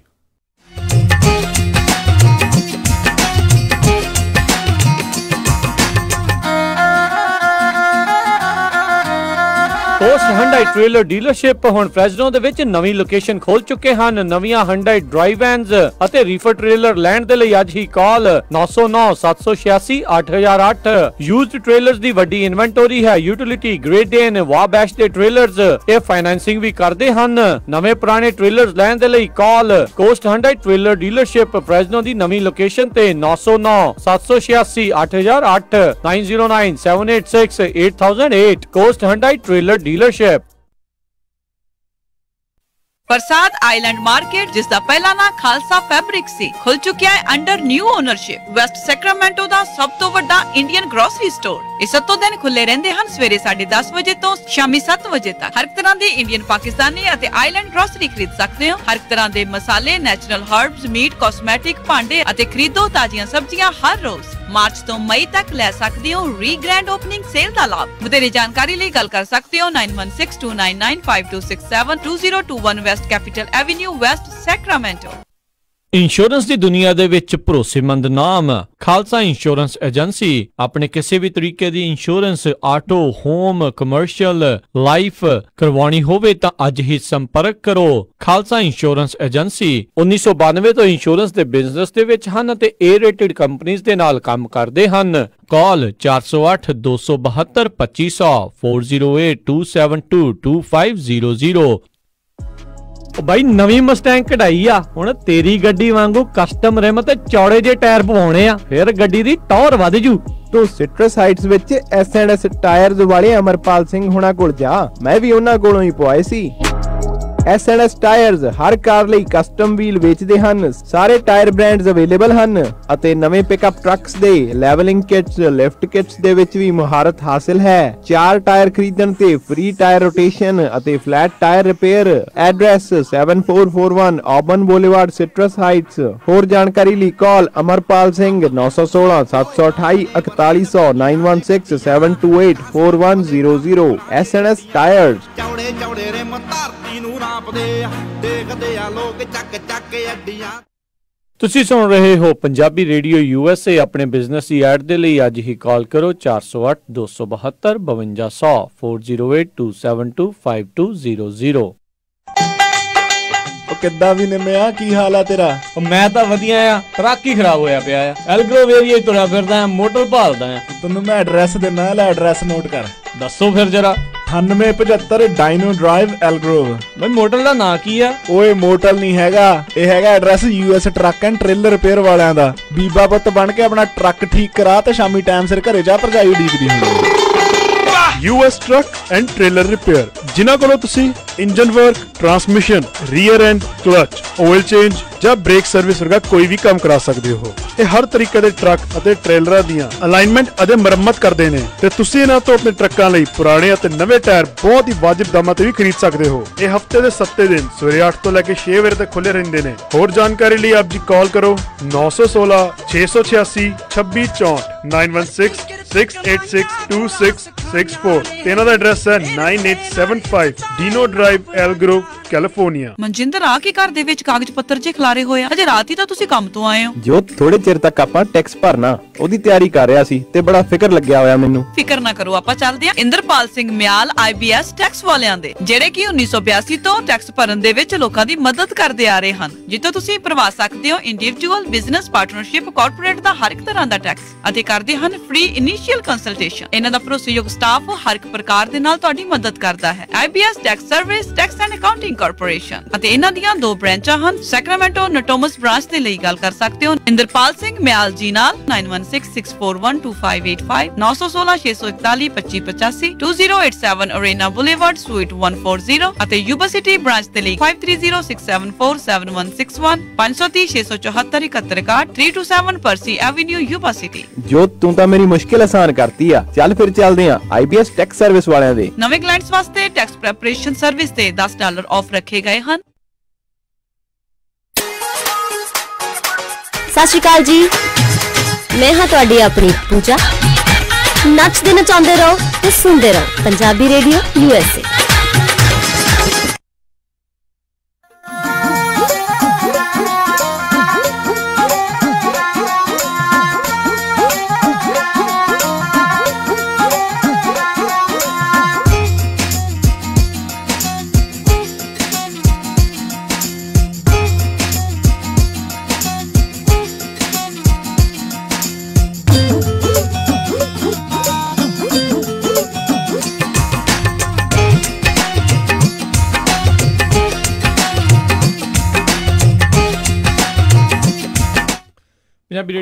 ਰੇਡੀਓ ਸੁਣ ਰਹੇ ਸਾਰੇ ਸਰੋਤਿਆਂ ਨੇ ਕਰੀ ਫੇਰ ਨਿੱਗੀ ਜੀ ਆਇਆਂ ਨੂੰ ਸਵਾਗਤ ਹੈ। ਸਤਿ ਸ਼੍ਰੀ ਅਕਾਲ ਜੀ। ਧੰਨਵਾਦ ਜੀ ਜੀ ਆਇਆਂ ਨੂੰ ਤੇ ਪਿਆਰ ਭਰੀ ਸਤਿ ਸ੍ਰੀ ਅਕਾਲ। ਤੇ ਅਗਲੀ ਖਬਰ ਵੱਲ ਚਲੀਏ ਰਾਜਕਨਵੀਰ ਸਿੰਘ ਜੀ ਜਿਹੜੀ ਆਈਸ ਆ ਇਮੀਗ੍ਰੇਸ਼ਨ ਕਸਟਮ ਐਨਫੋਰਸਮੈਂਟ ਉਸ ਨੇ ਪਿਛਲੇ 3 ਮਹੀਨਿਆਂ ਦੇ ਵਿੱਚ 108500 ਜਿਹੜੇ ਅਨਡਾਕੂਮੈਂਟਡ ਇਮੀਗ੍ਰੈਂਟ ਆ, ਉਹਨਾਂ ਨੂੰ ਯੂਐਸਏ ਦੇ ਵਿੱਚ ਛੱਡ ਦਿੱਤਾ ਆ। ਜਿਹੜੇ ਕਹਿੰਦੇ ਭਈ ਇੰਨੀ ਵੱਡੀ ਗਿਣਤੀ ਦੇ ਵਿੱਚ ਜਿਹੜੇ ਲੋਕ ਬਾਰਡਰ ਤੋਂ ਕ੍ਰਾਸ ਕਰਕੇ ਆਏ ਆ, ਇਹ ਮੋਸਟਲੀ ਐਲ ਸੈਲਵਾਡੋਰ ਹੌਂਡਰਾਸ ਤੇ ਗਵਾਟੇਮਾਲਾ ਤੋਂ ਆਏ ਆ। ਕਹਿੰਦੇ ਭਈ ਯੂਐਸ ਤੇ ਮੈਕਸੀਕੋ ਬਾਰਡਰ ਦੇ ਉੱਤੇ ਇੱਕ ਬਹੁਤ ਵੱਡਾ ਕ੍ਰਾਈਸਿਸ ਹੈਗਾ ਆ। ਇਹ ਜਿਹੜਾ ਆ ਰੋਨਲਡ ਵੀਟੀਐਲਓ ਜਿਹੜੇ ਐਕਟਿੰਗ ਡਾਇਰੈਕਟਰ ਹੈਗੇ ਆ ਯੂਐਸ ਆਈਸੀ ਈ ਦੇ। ਉਹਨਾਂ ਨੇ ਇਹ ਕਿਹਾ ਵੀ ਸਾਡੇ ਕੋਲ ਹੁਣ ਜਗ੍ਹਾ ਹੈ ਨਹੀਂ ਜਿਹੜੀਆਂ ਡਿਟੈਂਸ਼ਨ ਫੈਸਿਲਿਟੀਆਂ ਆ, ਉਹਨਾਂ ਦੇ ਵਿੱਚ ਹੋਰ ਅਨਡਾਕੂਮੈਂਟਡ ਬੰਦਿਆਂ ਨੂੰ ਰੱਖਣ ਦੇ ਲਈ। ਇਸ ਕਰਕੇ ਇਹ ਜਿਹੜੇ 1 ਲੱਖ 8000 ਦੇ ਕਰੀਬ ਪਿਛਲੇ 3 ਮਹੀਨਿਆਂ ਦੇ ਵਿੱਚ ਲੋਕਾਂ ਨੂੰ ਫੜ ਕੇ ਉਸ ਟਾਈਮ ਹੀ ਛੱਡ ਦਿੱਤਾ ਗਿਆ ਆ। ਤੇ ਨਾਲ ਉਹਨਾਂ ਨੂੰ ਐਨਓਸੀ ਨੋਟਿਸ ਆਫ ਐਨਓਏ ਜਿਹੜਾ ਨੋਟਿਸ ਆਫ ਅਪੀਅਰੈਂਸ ਦਾ ਜਿਹੜਾ ਲੈਟਰ ਦਿੱਤਾ ਗਿਆ ਵੀ ਉਹਨਾਂ ਨੂੰ ਜੱਜ ਦੇ ਕੋਲ ਅਪੀਅਰ ਹੋਣਾ ਪਊਗਾ, ਪਰ ਉਹਨਾਂ ਨੂੰ ਜੇਲ੍ਹ ਦੇ ਵਿੱਚ ਨਹੀਂ ਜਿਹੜਾ ਦਿੱਤਾ ਗਿਆ। ਹੂੰ, ਜੀ ਜੀ। ਅਗਲੀ ਜਿਹੜੀ ਗੱਲ ਕਰਦੇ ਆ ਪ੍ਰੈਜ਼ੀਡੈਂਸ਼ੀਅਲ ਹੋਪਫੁਲ ਜਿਹੜੀ ਡੈਮੋਕ੍ਰੇਟ ਪਾਰਟੀ ਵੱਲੋਂ ਸੈਨੇਟਰ ਕਮਲਾ ਜਿਹੜੀ ਹੈਰਿਸ ਆ, ਉਹਨਾਂ ਨੇ ਆਪਣਾ ਰੀਸੈਂਟਲੀ ਇੱਕ ਨਵਾਂ ਪਲਾਨ ਜਿਹੜਾ ਆ, ਉਹ ਪ੍ਰਪੋਜ਼ ਕੀਤਾ, ਜਿਸ ਦੇ ਵਿੱਚ ਅਮਰੀਕਨ ਜਿਹੜੇ ਟੀਚਰਸ ਹੈਗੇ ਅਮਰੀਕਨ ਟੀਚਰਸ ਆ ਉਹਨਾਂ ਦੇ ਲਈ ਵੱਡੇ ਜਿਹੜੇ ਪੇ ਰੇਜ਼ ਆ ਉਹ ਉਹਨਾਂ ਨੇ ਦੱਸਿਆ। ਕਹਿੰਦੇ ਵੀ ਤਕਰੀਬਨ ਜਿਹੜੇ ਟੀਚਰਸ ਆ ਉਹਨਾਂ ਨੂੰ ਐਵਰੇਜ 13500 ਡਾਲਰ ਅ, ਜਿਹੜੀ ਪੇ ਰੇਜ਼ ਆ ਉਹ ਮਿਲੇਗੀ। ਇਹਨਾਂ ਦੇ ਪ੍ਰਪੋਜ਼ਲ ਦੇ ਅਧੀਨ ਤੇ ਕਹਿੰਦੇ ਵੀ ਇਹ ਹੁਣ ਤੱਕ ਦੀ ਅਮਰੀਕਾ ਦੇ ਵਿੱਚ ਜਿਹੜੇ ਟੀਚਰਸ ਆ, ਅਧਿਆਪਕ ਆ, ਉਹਨਾਂ ਦੇ ਵਿੱਚ ਸਭ ਤੋਂ ਵੱਡੀ ਇਨਵੈਸਟਮੈਂਟ ਦੇ ਵਜੋਂ ਇਸ ਨੂੰ ਦੇਖਿਆ ਜਾਵੇਗਾ। ਇਸ ਪ੍ਰਪੋਜ਼ਲ ਦੇ ਅਧੀਨ ਇਹਨਾਂ ਨੇ ਇਸ ਕੈਂਪੇਨ ਦੇ ਵਿੱਚ ਆਪਣਾ ਜਿਹੜਾ ਪ੍ਰਪੋਜ਼ਲ ਲਿਆਂਦਾ ਆ 315 ਬਿਲੀਅਨ ਡਾਲਰ ਆਉਣ ਵਾਲੇ 10 ਸਾਲਾਂ ਦੇ ਵਿੱਚ ਖਰਚਣ ਦੇ ਉੱਤੇ ਜਿਹੜਾ ਆ ਉਹ ਰੱਖਿਆ ਹੈਗਾ ਆ। ਸੋ ਵੈਸੇ ਇਹਦੇ ਵਿੱਚ ਕੋਈ ਦੋ ਰਾਵਾਂ ਨਹੀਂ ਆ। ਵੀ ਅਮਰੀਕਨ ਟੀਚਰਸ ਇਸ ਟਾਈਮ ਸਾਰੇ ਹੀ ਆਲਮੋਸਟ ਜਿਹੜੇ ਸੂਬਿਆਂ ਦੇ ਵਿੱਚ ਉਹਨਾਂ ਦੀ ਪੇ ਨੂੰ ਲੈ ਕੇ ਜਿਹੜੀ ਇਹ ਚਿੰਤਾ ਆ, ਉਹ ਬਣੀ ਹੋਈ ਆ। ਵੱਖ-ਵੱਖ ਜਿਹੜੇ ਸਕੂਲ ਡਿਸਟ੍ਰਿਕਟਸ ਵਾਲੇ ਟੀਚਰਸ ਆ, ਹੜਤਾਲਾਂ ਕਰਕੇ ਸਟ੍ਰਾਈਕ ਕਰਕੇ ਆਪੋ ਆਪਣੀ ਜਿਹੜੀ ਆ ਪੇ ਗ੍ਰੇਡ ਆ ਉਸ ਨੂੰ ਇਨਫਲੇਸ਼ਨ ਦੇ ਹਿਸਾਬ ਦੇ ਨਾਲ ਉੱਥੇ ਤੱਕ ਪਹੁੰਚਾਉਣ ਦੀ ਜਿਹੜੀਆਂ ਆ, ਉਹ ਕੋਸ਼ਿਸ਼ਾਂ ਕਰ ਰਹੇ ਨੇ ਤੇ ਇਹਨਾਂ ਦੇ ਜਿਹੜੇ ਕਮਲਾ ਹੈਰਿਸ ਦੇ ਇਸ ਪ੍ਰਪੋਜ਼ਲ ਦੇ ਅਧੀਨ 13500 ਡਾਲਰ ਜਿਹੜੀ ਐਵਰੇਜ ਪੇ ਰੇਜ਼ ਜਿਹੜੀ ਟੀਚਰਸ ਦੇ ਲਈ, ਐਵਰੀ ਟੀਚਰ ਦੇ ਲਈ ਉਹਨਾਂ ਨੇ ਇਸ ਦੇ ਵਿੱਚ ਰੱਖੀ ਹੈਗੀ ਆ। ਤੇ ਲੈਟਸ ਸੀ ਜਿਹੜਾ ਆ, ਇਸ ਦੇ ਵਿੱਚ ਕੀ ਬਣਦਾ ਆ, ਇਹ ਕਿ ਇਹਨਾਂ ਨੇ ਇੱਕ ਨਵਾਂ ਪੁਆਇੰਟ ਆਪਣੇ ਕੈਂਪੇਨ ਦੇ ਵਿੱਚ ਲੈ ਕੇ ਆਂਦਾ ਆ। ਜੀ, ਬਿਲਕੁਲ, ਬਹੁਤ ਵਧੀਆ ਪੁਆਇੰਟ ਆ।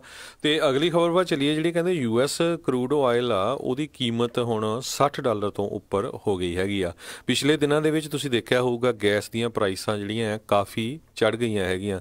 ਜਿਹੜੀ ਸਪਲਾਈ ਹੈਗੀ ਆ, ਉਹਨੂੰ ਜਿਹੜਾ ਆ ਓਪੈਕ ਵੱਲੋਂ ਜਾਣਬੁੱਝ ਕੇ ਘਟਾਇਆ ਗਿਆ ਆ।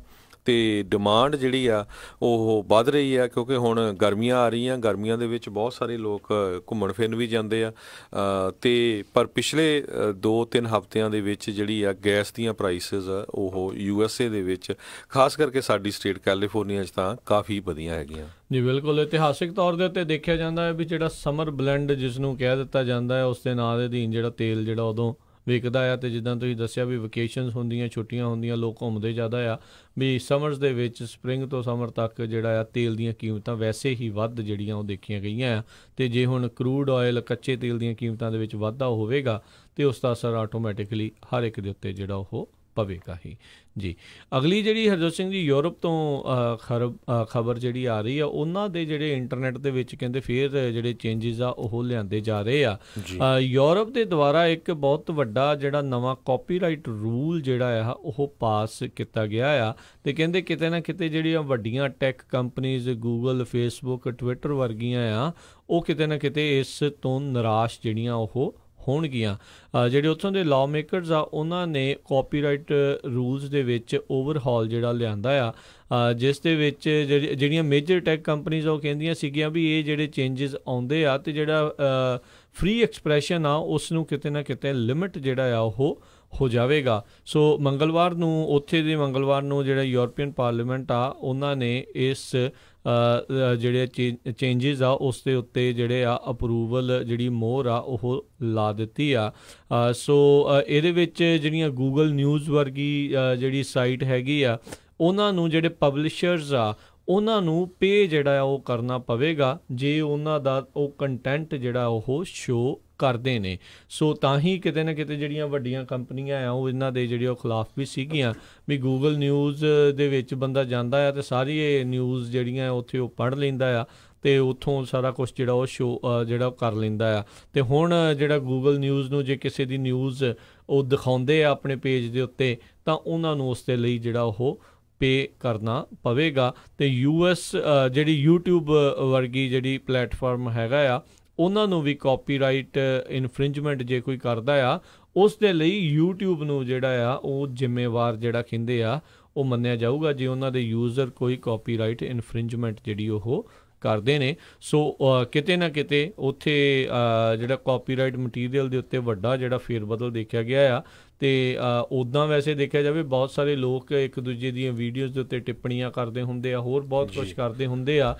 ਸੋ ਇਹਦਾ ਮਤਲਬ ਆ ਵੀ ਆਉਣ ਵਾਲੇ ਸਮੇਂ ਦੇ ਵਿੱਚ ਜਿਹੜਾ ਉੱਥੇ ਰੌਲਾ ਰੱਪਾ ਬਹੁਤ ਜ਼ਿਆਦਾ ਜਿਹੜਾ ਉਹ ਵਧਨ ਜਾ ਜਿਹੜਾ। ਹੁੰਦਾ ਉਹ ਵੀ ਘੱਟ ਹੋਊਗਾ ਉਹ ਵੀ ਉਹ ਘਟਾਉਣ ਦੀ ਜਿਹੜੀ ਉਹਨਾਂ ਦੀ ਉਹੀ ਕੋਸ਼ਿਸ਼ ਹੈਗੀ ਆ ਵੀ ਜੇ ਕਿਸੇ ਨੇ ਕੁਝ ਕਰਨਾ ਹੈ ਤਾਂ ਆਪਣਾ ਕੰਟੈਂਟ ਖੁਦ ਬਣਾ ਕੇ ਜਿਹੜਾ ਆ ਉਹ ਉੱਥੇ ਜਿਹੜਾ ਪੇਸ਼ ਕੀਤਾ ਜਾਵੇ ਨਾ ਕਿ ਕਿਸੇ ਦਾ ਚੋਰੀ ਕਰਕੇ ਤੇ ਨਾ ਕਿਸੇ ਦਾ ਕਾਪੀ ਕਰਕੇ। ਜੀ। ਅੱਗੇ ਆਪਾਂ ਕੁਝ ਲੋਕਲ ਖਬਰਾਂ ਵੱਲ ਚੱਲੀਏ। ਫ੍ਰਿਜ਼ਨੋ ਤੋਂ ਖਬਰ ਆ ਰਹੀ ਆ। ਫ੍ਰਿਜ਼ਨੋ ਦੇ ਵਿੱਚ ਕਹਿੰਦੇ ਵੀ ਨਾਰਥ ਈਸਟ ਫ੍ਰਿਜ਼ਨੋ ਦੇ ਵਿੱਚ ਪਿਛਲੇ ਦਿਨਾਂ ਦੇ ਵਿੱਚ ਇੱਕ ਕਾਰ ਦੇ ਵਿੱਚ ਚਾਰ ਸਵਾਰਾਂ ਨੇ ਲੋਕ ਜਿਹੜੇ ਬਾਕੀ ਹਾਈਵੇ ਤੇ ਜਾਂਦੇ ਸੀ ਉਹਨਾਂ ਦੇ ਉੱਤੇ ਪੈਲਟ ਗਨਸ ਦੇ ਨਾਲ ਜਿਹੜਾ ਆ ਇੱਕ ਤਰ੍ਹਾਂ ਨਾਲ ਹਮਲਾ ਹੀ ਕੀਤਾ। ਉਹਦੇ ਵਿੱਚ ਕਹਿੰਦੇ ਕਾਫੀ ਲੋਕ ਜਿਹੜੇ ਆ ਉਹ ਫੱਟੜ ਵੀ ਹੋਏ। ਕਈਆਂ ਦੇ ਜਿਹੜੇ ਸ਼ੀਸ਼ੇ ਵੀ ਉਹ ਟੁੱਟ ਗਏ ਹੈਗੇ ਆ। ਸੋ ਇਹ ਕਹਿੰਦੇ ਫ੍ਰਿਜ਼ਨੋ ਏਰੀਏ ਦੇ ਵਿੱਚ ਬਰਾਊਨਿੰਗ ਬੁੱਲਰਡ ਅ, ਤੇ ਡਕੋਟਾ ਤੇ ਫਸਟ ਦੇ ਲਾਗੇ ਛਾਗੇ ਜਿਹੜੇ ਆ ਇਹ ਜਿਹੜੀਆਂ ਘਟਨਾਵਾਂ ਹੋਈਆਂ ਹੈਗੀਆਂ। ਸੋ ਹੁਣ ਪੁਲਿਸ ਜਿਹੜੀ ਆ, ਉਹ ਬ੍ਰੈਂਡਨ ਜੋਹਾਨਸਨ ਜਿਹੜੇ ਆ, ਉਹ ਦੱਸ ਰਹੇ ਆ ਵੀ ਕਹਿੰਦੇ ਵੀ ਪੁਲਿਸ ਇਹਨਾਂ ਚਾਰਾਂ ਜਾਣਿਆਂ ਦੀ ਜਿਹੜੀ ਆ, ਉਹਨਾਂ ਨੂੰ ਲੱਭ ਰਹੀ ਆ। ਕਹਿੰਦੇ ਭਈ ਜਿਹੜੀ ਕਾਰ ਆ, ਉਹਨਾਂ ਦੇ ਕੋਲ ਟੋਯੋਟਾ ਜਾਂ ਨਿਸਾਨ ਹੋ ਸਕਦੀ ਹੈਗੀ ਆ। ਹੂੰ, ਜੀ ਜੀ। ਅਗਲੀ ਜਿਹੜੀ ਖਬਰ ਉਸ ਦੇ ਉੱਤੇ ਨਜ਼ਰ ਮਾਰਦੇ ਆ ਆਸਟਰੀਆ ਦੇ ਵਿੱਚ ਉਥੋਂ ਦੇ ਜਿਹੜੇ ਪੁਲਿਸ ਵਾਲੇ ਆ, ਉਥੋਂ ਦੇ ਅਧਿਕਾਰੀ ਆ, ਉਹਨਾਂ ਨੇ ਜਿਹੜੇ ਫਾਈ, ਫਾਰ ਰਾਈਟ ਜਿਹੜੇ ਐਕਟਿਵਿਸਟ ਹੈਗੇ ਆ, ਉਹਨਾਂ ਦੇ ਘਰਾਂ ਦੇ ਵਿੱਚ ਛਾਪੇਮਾਰੀ ਜਿਹੜੀ ਆ, ਉਹ ਕੀਤੀ ਆ। ਉਹ ਦੇਖਣਾ ਚਾਹੁੰਦੇ ਸੀਗੇ, ਇਹ ਮੇਕ ਸ਼ੋਰ ਕਰਨਾ ਚਾਹੁੰਦੇ ਸੀ ਵੀ ਜਿਹੜਾ ਕ੍ਰਾਈਸਟ ਚਰਚ ਦਾ ਜਿਹੜਾ ਟੈਰਰਿਸਟ ਸੀਗਾ, ਉਹ ਚਿੱਟਾ ਅੱਤਵਾਦੀ ਸੀ। ਵੀ ਉਹਨਾਂ ਦੇ ਕਿਸੇ ਤਰੀਕੇ ਦੇ ਨਾਲ ਇਸ ਥਾਂ ਦੇ ਉੱਤੇ ਲਿੰਕ ਤਾਂ ਨਹੀਂ ਹੈਗੇ, ਜਿਹੜਾ 74 ਪੇਜ ਦਾ ਮੈਨੀਫੈਸਟੋ ਉਸ ਅਤਵਾਦੀ ਨੇ ਜਿਹੜਾ ਲਿਖਿਆ ਸੀ, ਜਿਸ ਦੇ ਵਿੱਚ ਉਹ ਰਾਸ਼ਟਰਪਤੀ ਟਰੰਪ ਦੀ ਵੀ ਪ੍ਰਸ਼ੰਸਾ ਜਿਹੜੀ ਉਹ ਬੜੀ ਕਰਦਾ ਆ, ਵੀ ਜਿਸ ਦੇ ਕਰਕੇ 50 ਤੋਂ ਵੱਧ ਲੋਕ ਜਿਹੜੇ ਆ ਨਿਊਜ਼ੀ- ਨਿਊਜ਼ੀਲੈਂਡ ਦੇ ਜਿਹੜੇ ਦੋ ਚਰ- ਜਿਹੜੇ ਮਾਸਕ ਦੇ ਵਿੱਚ ਮਸਜਿਦਾਂ 'ਚ ਜਿਹੜੇ ਉਹ ਮਾਰੇ ਗਏ ਆ, ਵੀ ਉਹ ਕਿਤੇ ਨਾ ਕਿਤੇ ਜਿਹੜੇ ਆਸਟਰੀਅਨ ਇਨਵੈਸਟੀਗੇਟਰ ਇਹ ਦੇਖ ਰਹੇ ਆ, ਵੀ ਜਿਹੜਾ ਉਹਦਾ ਲਾਸਟ ਨੇਮ ਆ ਉਹ ਕਿਤੇ ਨਾ ਕਿਤੇ ਜਿਹੜੇ ਆਸਟਰੀਆ ਦੇ ਜਿਹੜੇ ਫਾਰ ਰਾਈਟ ਐਕਟਿਵਿਸਟ ਆ, ਉਹਨਾਂ ਦੇ ਨਾਲ ਜਿਹੜਾ ਉਹ ਮਿਲਦਾ ਹੈਗਾ ਆ। ਸੋਸ਼ਲ ਮੀਡੀਆ ਦੇ ਉੱਤੇ ਕਹਿੰਦੇ ਉੱਥੇ ਦੀ ਜਿਹੜੀ ਮਾਰਟਿਨ ਸੈਲਨਰ, ਜਿਹੜੀ ਆਇਡੈਂਟੀਟੇਰੀਅਨ ਮੂਵਮੈਂਟ ਆਫ ਆਸਟਰੀਆ ਜਨ ਜਨਰੇਸ਼ਨ ਆਇਡੈਂਟੀਟੀ ਜਿਹੜੀ ਆ, ਉਹਦੇ ਨਾਲ ਜਿਹੜੀ ਉਸਨੇ ਵੀ ਇਸ ਦੇ ਜਿਹੜੇ ਹੱਕ ਦੇ ਵਿੱਚ ਜਿਹੜੀ ਉਹ ਗੱਲ ਆ, ਉਹ ਕੀਤੀ ਸੀ। ਸੋ ਇਹਦੇ ਕਰਕੇ ਜਿਹੜੇ ਆਸਟਰੀਆ ਵਾਲੇ ਪਹਿਲੋਂ ਹੀ ਜਿਹੜੇ ਸਰਗਰਮ ਹੋਏ ਪਏ ਆ, ਵੀ ਕਿਤੇ ਉੱਥੇ ਇਦਾਂ ਦਾ ਜਿਹੜੀ ਘਟਨਾ ਆ, ਉਹ ਨਾ ਵਾਪਰ ਜਾਵੇ। ਜੀ। ਅਗਲੀ ਖਬਰ ਜਿਹੜੀ ਉਹ ਫ੍ਰਿਜ਼ਨੋ ਕੈਲੀਫੋਰਨੀਆ ਤੋਂ ਆ ਰਹੀ ਹੈ। ਕਹਿੰਦੇ ਫ੍ਰਿਜ਼ਨੋ ਦੇ ਵਿੱਚ ਇੱਕ ਜਿਹੜਾ ਬੱਸ ਡਰਾਈਵਰ ਆ ਉਹਨੂੰ ਜਿਹੜਾ ਚਾਰਜ ਕੀਤਾ ਗਿਆ ਆ ਡੀਯੂਆਈ ਦੇ ਡਰਾਈਵਿੰਗ ਅੰਡਰ ਅਲਕੋਹਲ। ਤੇ ਕਹਿੰਦੇ ਵੀ ਉਹ ਬੱਸੇ ਹੀ ਚਲਾ ਰਿਹਾ ਸੀ ਤੇ ਆਪ ਉਸਨੇ ਜਿਹੜਾ ਸ਼ਰਾਬ ਪੀਤੀ ਹੋਈ ਸੀਗੀ। ਹੂੰ ਜੀ। ਜੀ। ਜੀ। ਅਗਲੀ ਜਿਹੜੀ ਹਰਜੋਤ ਸਿੰਘ ਜੀ ਖਬਰ ਉਸ ਦੇ ਉੱਤੇ ਨਜ਼ਰ ਮਾਰਦੇ ਆ ਜਿਹੜਾ ਪਰਡਿਊ ਫਾਰਮਾ ਆ ਤੇ ਇਸ ਦੇ ਸਟੇਟ ਆਫ ਓਕਲਾਹੋਮਾ ਆ, ਉਹਨਾਂ ਨੇ ਓਪੀਆਈਡ ਦੇ ਇੱਕ ਲਾਸੂਟ ਦੇ ਵਿੱਚ ਜਿਹੜੀ ਸੈਟਲਮੈਂਟ ਆ, ਉਹ ਕਰ ਲਈ ਆ। ਅ, ਜਿਹੜੀ ਪਰਡਿਊ ਫਾਰਮਾ ਆ ਤੇ ਜਿਹੜੀ ਪਰਿਵਾਰ ਉਸ ਨੂੰ ਓਨ ਕਰਦਾ ਆ ਉਹ ਕੰਪਨੀ ਜਿਹੜੀ ਤਕਰੀਬਨ 270 ਮਿਲੀਅਨ ਡਾਲਰ ਦੀ ਜਿਹੜੀ ਸੈਟਲਮੈਂਟ ਆ ਉਹਨਾਂ ਨੇ ਕੀਤੀ ਆ ਤੇ ਕਹਿੰਦੇ ਓਪੀਆਈਡ ਮਾਮਲੇ ਦੇ ਵਿੱਚ ਇਹ ਪਹਿਲੀ ਸਭ ਤੋਂ ਵੱਡੀ ਜਿਹੜੀ ਇੱਕ ਲਾਸੂਟ ਦੀ ਸੈਟਲਮੈਂਟ ਆ ਤੇ ਇਸ ਨੂੰ ਬੜਾ ਇਤਿਹਾਸਿਕ ਜਿਹੜਾ ਆ ਉਹ ਗਿਣਿਆ ਜਾਂਦਾ ਆ। ਓਕਲਾਹੋਮਾ ਦੇ ਵਿੱਚ ਜਿਹੜੇ ਲਾਸੂਟ ਆ, ਇਹਨਾਂ ਦੇ ਉੱਤੇ ਜਿਹੜਾ ਉਹ ਕੀਤਾ ਗਿਆ ਸੀ, ਇਹਨਾਂ ਦੀ ਸਬਸਿਡਰੀਜ਼ ਦੇ ਉੱਤੇ ਵੀ ਇਹਨਾਂ ਨੇ ਇਸ ਤਰੀਕੇ ਦੇ ਨਾਲ ਓਪੀਆਈਡ ਜਿਹੜੇ ਕਿਤੇ ਨਾ ਕਿਤੇ ਜ਼ਿਆਦਾ ਜਿਹੜੇ ਪੁਸ਼ ਕੀਤੇ ਆ, ਜਿਹਦੇ ਕਰਕੇ ਉੱਥੋਂ ਦੇ ਲੋਕ ਜਿਹੜੇ ਆ ਉਹ ਇਸ ਦੇ ਉੱਤੇ ਲੱਗ ਗਏ। ਇਹਨਾਂ ਨੂੰ ਉਸ ਦਾ ਨਸ਼ਾ ਜਿਹੜਾ ਲੱਗ ਗਿਆ ਤੇ ਕਈਆਂ ਦੀ ਉੱਥੇ ਜਿਹੜੀ ਉਹ ਮੌਤ ਵੀ ਜਿਹੜੀ ਉਹ ਹੋਈ ਆ। ਤੇ ਇਹ ਕਹਿੰਦੇ ਵੀ ਅ, 37 ਸਭ ਤੋਂ ਵੱਡੀ ਇੱਕ ਜਿਹੜੀ ਇੰਡਸਟਰੀ ਜਿਹੜੀ ਹੈਗੀ ਕੰਪਨੀ ਹੈਗੀ ਆ ਯੂਐਸ ਦੇ ਵਿੱਚ Johnson and Johnson Purdue Pharma ਸਾਰੇ ਜਣੇ ਇਸ ਦੇ ਇੱਕੋ ਜਿਹੜੀ ਛਤਰੀ ਦੇ ਅਧੀਨ ਜਿਹੜੇ ਉਹ ਆ ਜਾਂਦੇ ਆ। ਤੇ ਹੁਣ ਜਿਹੜੇ ਕਹਿੰਦੇ ਵੀ ਦੋ ਹੋਰ ਕੰਪਨੀਆਂ ਦੇ ਉੱਤੇ ਜਿਹੜਾ ਆ, ਇਹ ਲਾਸੂਟ ਹੋਇਆ ਪਿਆ ਆ ਤੇ ਉਹਨਾਂ ਦੀ ਜਿਹੜਾ ਟ੍ਰਾਇਲ ਆ, ਉਹ 28 ਮਈ ਨੂੰ ਜਿਹੜਾ ਸ਼ੁਰੂ ਹੋਣ ਜਾ ਰਿਹਾ ਹੈਗਾ ਆ ਤੇ ਪਰਡਿਊ ਵਾਲਿਆਂ ਨੇ ਹੁਣ 270 ਮਿਲੀਅਨ ਡਾਲਰ ਦੀ ਜਿਹੜੀ ਆ ਓਪੀਆਈਡ ਮਾਮਲੇ ਦੇ ਵਿੱਚ ਸੈਟਲਮੈਂਟ ਕੀਤੀ ਹੈਗੀ ਆ। ਜੀ। ਅਗਲੀ ਖਬਰ ਜਿਹੜੀ ਆ ਉਹ ਬੇਕਰਸਫੀਲਡ ਤੋਂ ਆ ਰਹੀ। ਬੇਕਰਸਫੀਲਡ ਦੇ ਵਿੱਚ ਜਿਹੜੇ ਕਹਿੰਦੇ ਬੇਕਰਸਫੀਲਡ ਦਾ ਕਾਲਜ ਆ ਉਹਦਾ ਜਿਹੜਾ ਸਟੇਡੀਅਮ 1950 ਦੇ ਵਿੱਚ ਬਣਿਆ ਸੀ। ਸੋ ਹੁਣ ਉਸ ਸਟੇਡੀਅਮ ਨੂੰ ਮਾਈਕ ਗਿਓਮੋਨੀ ਜਿਹੜੇ ਵਾਈਸ ਪ੍ਰੈਜ਼ੀਡੈਂਟ ਹੈਗੇ ਫਾਈਨੈਂਸ ਐਂਡ ਐਡਮਿਨਿਸਟ੍ਰੇਸ਼ਨ ਸਰਵਿਸਿਜ਼ ਦੇ ਕਾਲਜ ਦੇ ਵਿੱਚ ਉਹਨਾਂ ਨੇ ਕਿਹਾ ਆ ਵੀ ਅਸੀਂ ਰਿਮਾਡਲਿੰਗ ਉਹਦੀ ਸ਼ੁਰੂ ਕਰਨ ਜਾ ਰਹੇ ਆ ਅਪ੍ਰੈਲ ਪਹਿਲੀ ਤੋਂ। ਇਹ ਜਿਹੜਾ ਪ੍ਰੋਜੈਕਟ ਸੀਗਾ ਹੈ, ਇੱਕ ਮੇਜਰ ਜੇ ਦੇ ਰਾਹੀਂ ਇਹਦੀ ਫੰਡਿੰਗ ਹੋ ਰਹੀ ਆ। 2016 ਦੇ ਵਿੱਚ ਇਹ ਅਪਰੂਵ ਹੋਈ ਸੀ। ਹੁਣ ਇਹ 2019 ਅਪ੍ਰੈਲ ਦੇ ਵਿੱਚ ਜਾ ਕੇ ਜਿਹੜਾ ਆ ਇਸ ਕਾਲਜ ਦਾ ਜਿਹੜਾ ਸਟੇਡੀਅਮ ਆ, ਬਹੁਤ ਸਾਲਾਂ ਬਾਅਦ ਜਾ ਕੇ ਇਹ ਰਿਮੋਡਲ ਹੋਊਗਾ। ਜੀ। ਸਭ ਨੂੰ ਯਾਦ ਹੋਣਾ ਹੈ ਵੀ ਕੁਝ ਵੀਕ ਪਹਿਲਾਂ ਵੀਕ ਪਹਿਲਾਂ ਜਿਹੜਾ ਕਾਲਜ ਦੀ ਐਡਮਿਸ਼ਨ ਦਾ ਮਸਲਾ ਬਹੁਤ ਜ਼ਿਆਦਾ ਜਿਹੜਾ ਭਖਿਆ ਸੀ, ਵੀ ਕਿਸ ਤਰੀਕੇ ਦੇ ਨਾਲ ਜਿਹੜੇ ਕੋਚ ਆ ਉਹ ਜਿਹੜੇ ਅਮੀਰ ਲੋਕਾਂ ਦੇ ਨਿਆਣਿਆਂ ਨੂੰ ਵੱਡੀਆਂ ਯੂਨੀਵਰਸਿਟੀ ਦੇ ਵਿੱਚ ਐਡਮਿਸ਼ਨ ਦਿਵਾਉਣ ਦੇ ਲਈ ਦਸਤਾਵੇਜ਼ਾਂ ਦੇ ਵਿੱਚ ਜਿਹੜਾ ਫਰਾਡ ਕਰ ਰਹੇ ਸੀ, ਝੂਠ ਜਿਹੜਾ ਬੋਲ ਕੇ ਤੇ ਜਾਂ ਡੋਨੇਸ਼ਨਸ ਜਿਹੜੀਆਂ ਕਾਲਜ ਨੂੰ ਦਵਾ ਕੇ ਜਾਂ ਖੁਦ ਜਿਹੜੇ ਡਾਲਰ ਉਹ ਲੈ ਕੇ ਉਹਨਾਂ ਨੂੰ ਵੱਡੀਆਂ ਯੂਨੀਵਰਸਿਟੀਆਂ ਦੇ ਵਿੱਚ ਜਿਹੜੇ ਆ ਉਹ ਐਡਮਿਸ਼ਨ ਦਾਖਲਾ ਉਹਨਾਂ ਦਾ ਕਰਵਾ ਰਹੇ ਸੀ। ਉਸ ਮਾਮਲੇ ਦੇ ਵਿੱਚ ਅਦਾਲਤ ਦੇ ਸਾਹਮਣੇ ਕਹਿੰਦੇ ਅੱਜ ਜਿਹੜੇ ਵੱਖ-ਵੱਖ ਕੋਚਿਸ ਆ ਉਹਨਾਂ ਨੂੰ ਪੇਸ਼ ਕੀਤਾ ਗਿਆ ਆ ਤੇ ਫਟਕਾਰ ਜਿਹੜੀ ਅਦਾਲਤ ਨੇ ਜਿਹੜੀ ਉਹਨਾਂ ਸਾਰਿਆਂ ਨੂੰ ਲਾਈ ਆ ਤੇ ਹਾਲ ਦੀ ਘੜੀ ਉਹਨਾਂ ਨੂੰ ਅਮਰੀਕਾ ਤੋਂ ਬਾਹਰ ਟਰੈਵਲ ਕਰਨ ਦੇ ਉੱਤੇ ਉਹਨਾਂ ਦੀ ਮਨਾ ਜਿਹੜਾ ਕੀਤਾ ਆ। ਇਸੇ ਮਸਲੇ ਦੇ ਵਿੱਚ ਜਿਹੜੀ ਯੇਲ ਯੂਨੀਵਰਸਿਟੀ ਆ ਉਹਨਾਂ ਨੇ ਕਹਿੰਦੇ ਕੁਝ ਜਿਹੜੇ ਸਟੂਡੈਂਟਸ ਜਿਨ੍ਹਾਂ ਦੇ ਪਰਿਵਾਰ ਨੇ 1.2 ਮਿਲੀਅਨ ਡਾਲਰ ਜਿਹੜੇ ਉਹ ਪੇ ਕੀਤੇ ਸੀ ਯੂਨੀਵਰਸਿਟੀ ਨੂੰ, ਉਸ ਦੀ ਐਡਮਿਸ਼ਨ ਆ ਉਸ ਨੂੰ ਰਿਸੈਂਡ ਕਰ ਦਿੱਤਾ ਆ ਉਸ ਨੂੰ ਇੱਕ ਹਿਸਾਬ ਦੇ ਨਾਲ ਨਲ ਕਰ ਦਿੱਤਾ ਆ। ਸੋ ਇਹ ਜਦੋਂ ਕਾਲਜ ਐਡਮਿਸ਼ਨ ਸਕੈਂਡਲ ਜਿਹੜਾ ਉਹ ਸਾਹਮਣੇ ਆਇਆ ਸੀ ਉਸ ਤੋਂ ਬਾਅਦ ਦੇ ਵਿੱਚ ਇਸ ਤਰੀਕੇ ਦੀਆਂ ਚੀਜ਼ਾਂ ਦੇ ਉੱਤੇ ਬਹੁਤ ਜ਼ਿਆਦਾ ਜਿਹੜੀ ਤਿੱਖੀ ਨਜ਼ਰ ਆ, ਉਹ ਲੋਕਾਂ ਦੀ ਜਿਹੜੀ ਆ, ਉਹ ਹੋ ਚੁੱਕੀ ਹੋਈ ਸੀਗੀ।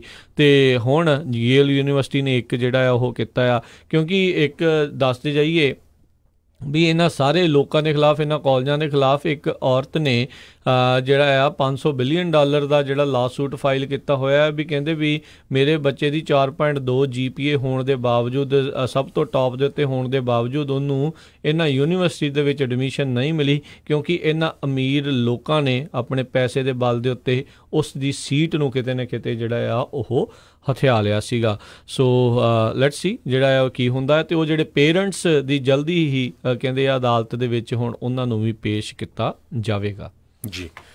ਅਗਲੀ ਖਬਰ ਵੱਲ ਆਈ ਚਲੀਏ, ਜਿਹੜੀ ਸੈਕਰਾਮੈਂਟੋ ਤੋਂ ਆ ਰਹੀ ਆ ਸੈਕਰਾਮੈਂਟੋ ਦੇ ਵਿੱਚ ਕਹਿੰਦੇ ਪਈ ਇੱਕ ਬੰਦੇ ਨੇ ਆਪਣੀ ਸਿਟੀ ਕੌਂਸਲ ਦੇ ਵਿੱਚ ਕੈਬਨ ਬੋਲਸ ਨਾਮ ਦੇ ਬੰਦੇ ਨੇ ਜਿਹੜੀ ਆਪਣੀ ਇੱਕ ਸਟੇਟਮੈਂਟ ਦਿੱਤੀ ਸੀ ਕੌਂਸਲ ਦੀ ਮੀਟਿੰਗ ਚੱਲ ਰਹੀ ਸੀ, ਜਿਹੜੀ ਕਾਫੀ ਹੀਟਡ ਸਟੇਟਮੈਂਟ ਸੀ ਉਸਨੇ ਕਿਹਾ ਸੀ ਵੀ 30 ਤੋਂ 60 ਦਿਨਾਂ ਦੇ ਵਿੱਚ ਜਿਹੜੀ ਸਿਟੀ ਆ, ਇਹ ਜਲਣੀ ਸ਼ੁਰੂ ਹੋ ਜਾਊਗੀ।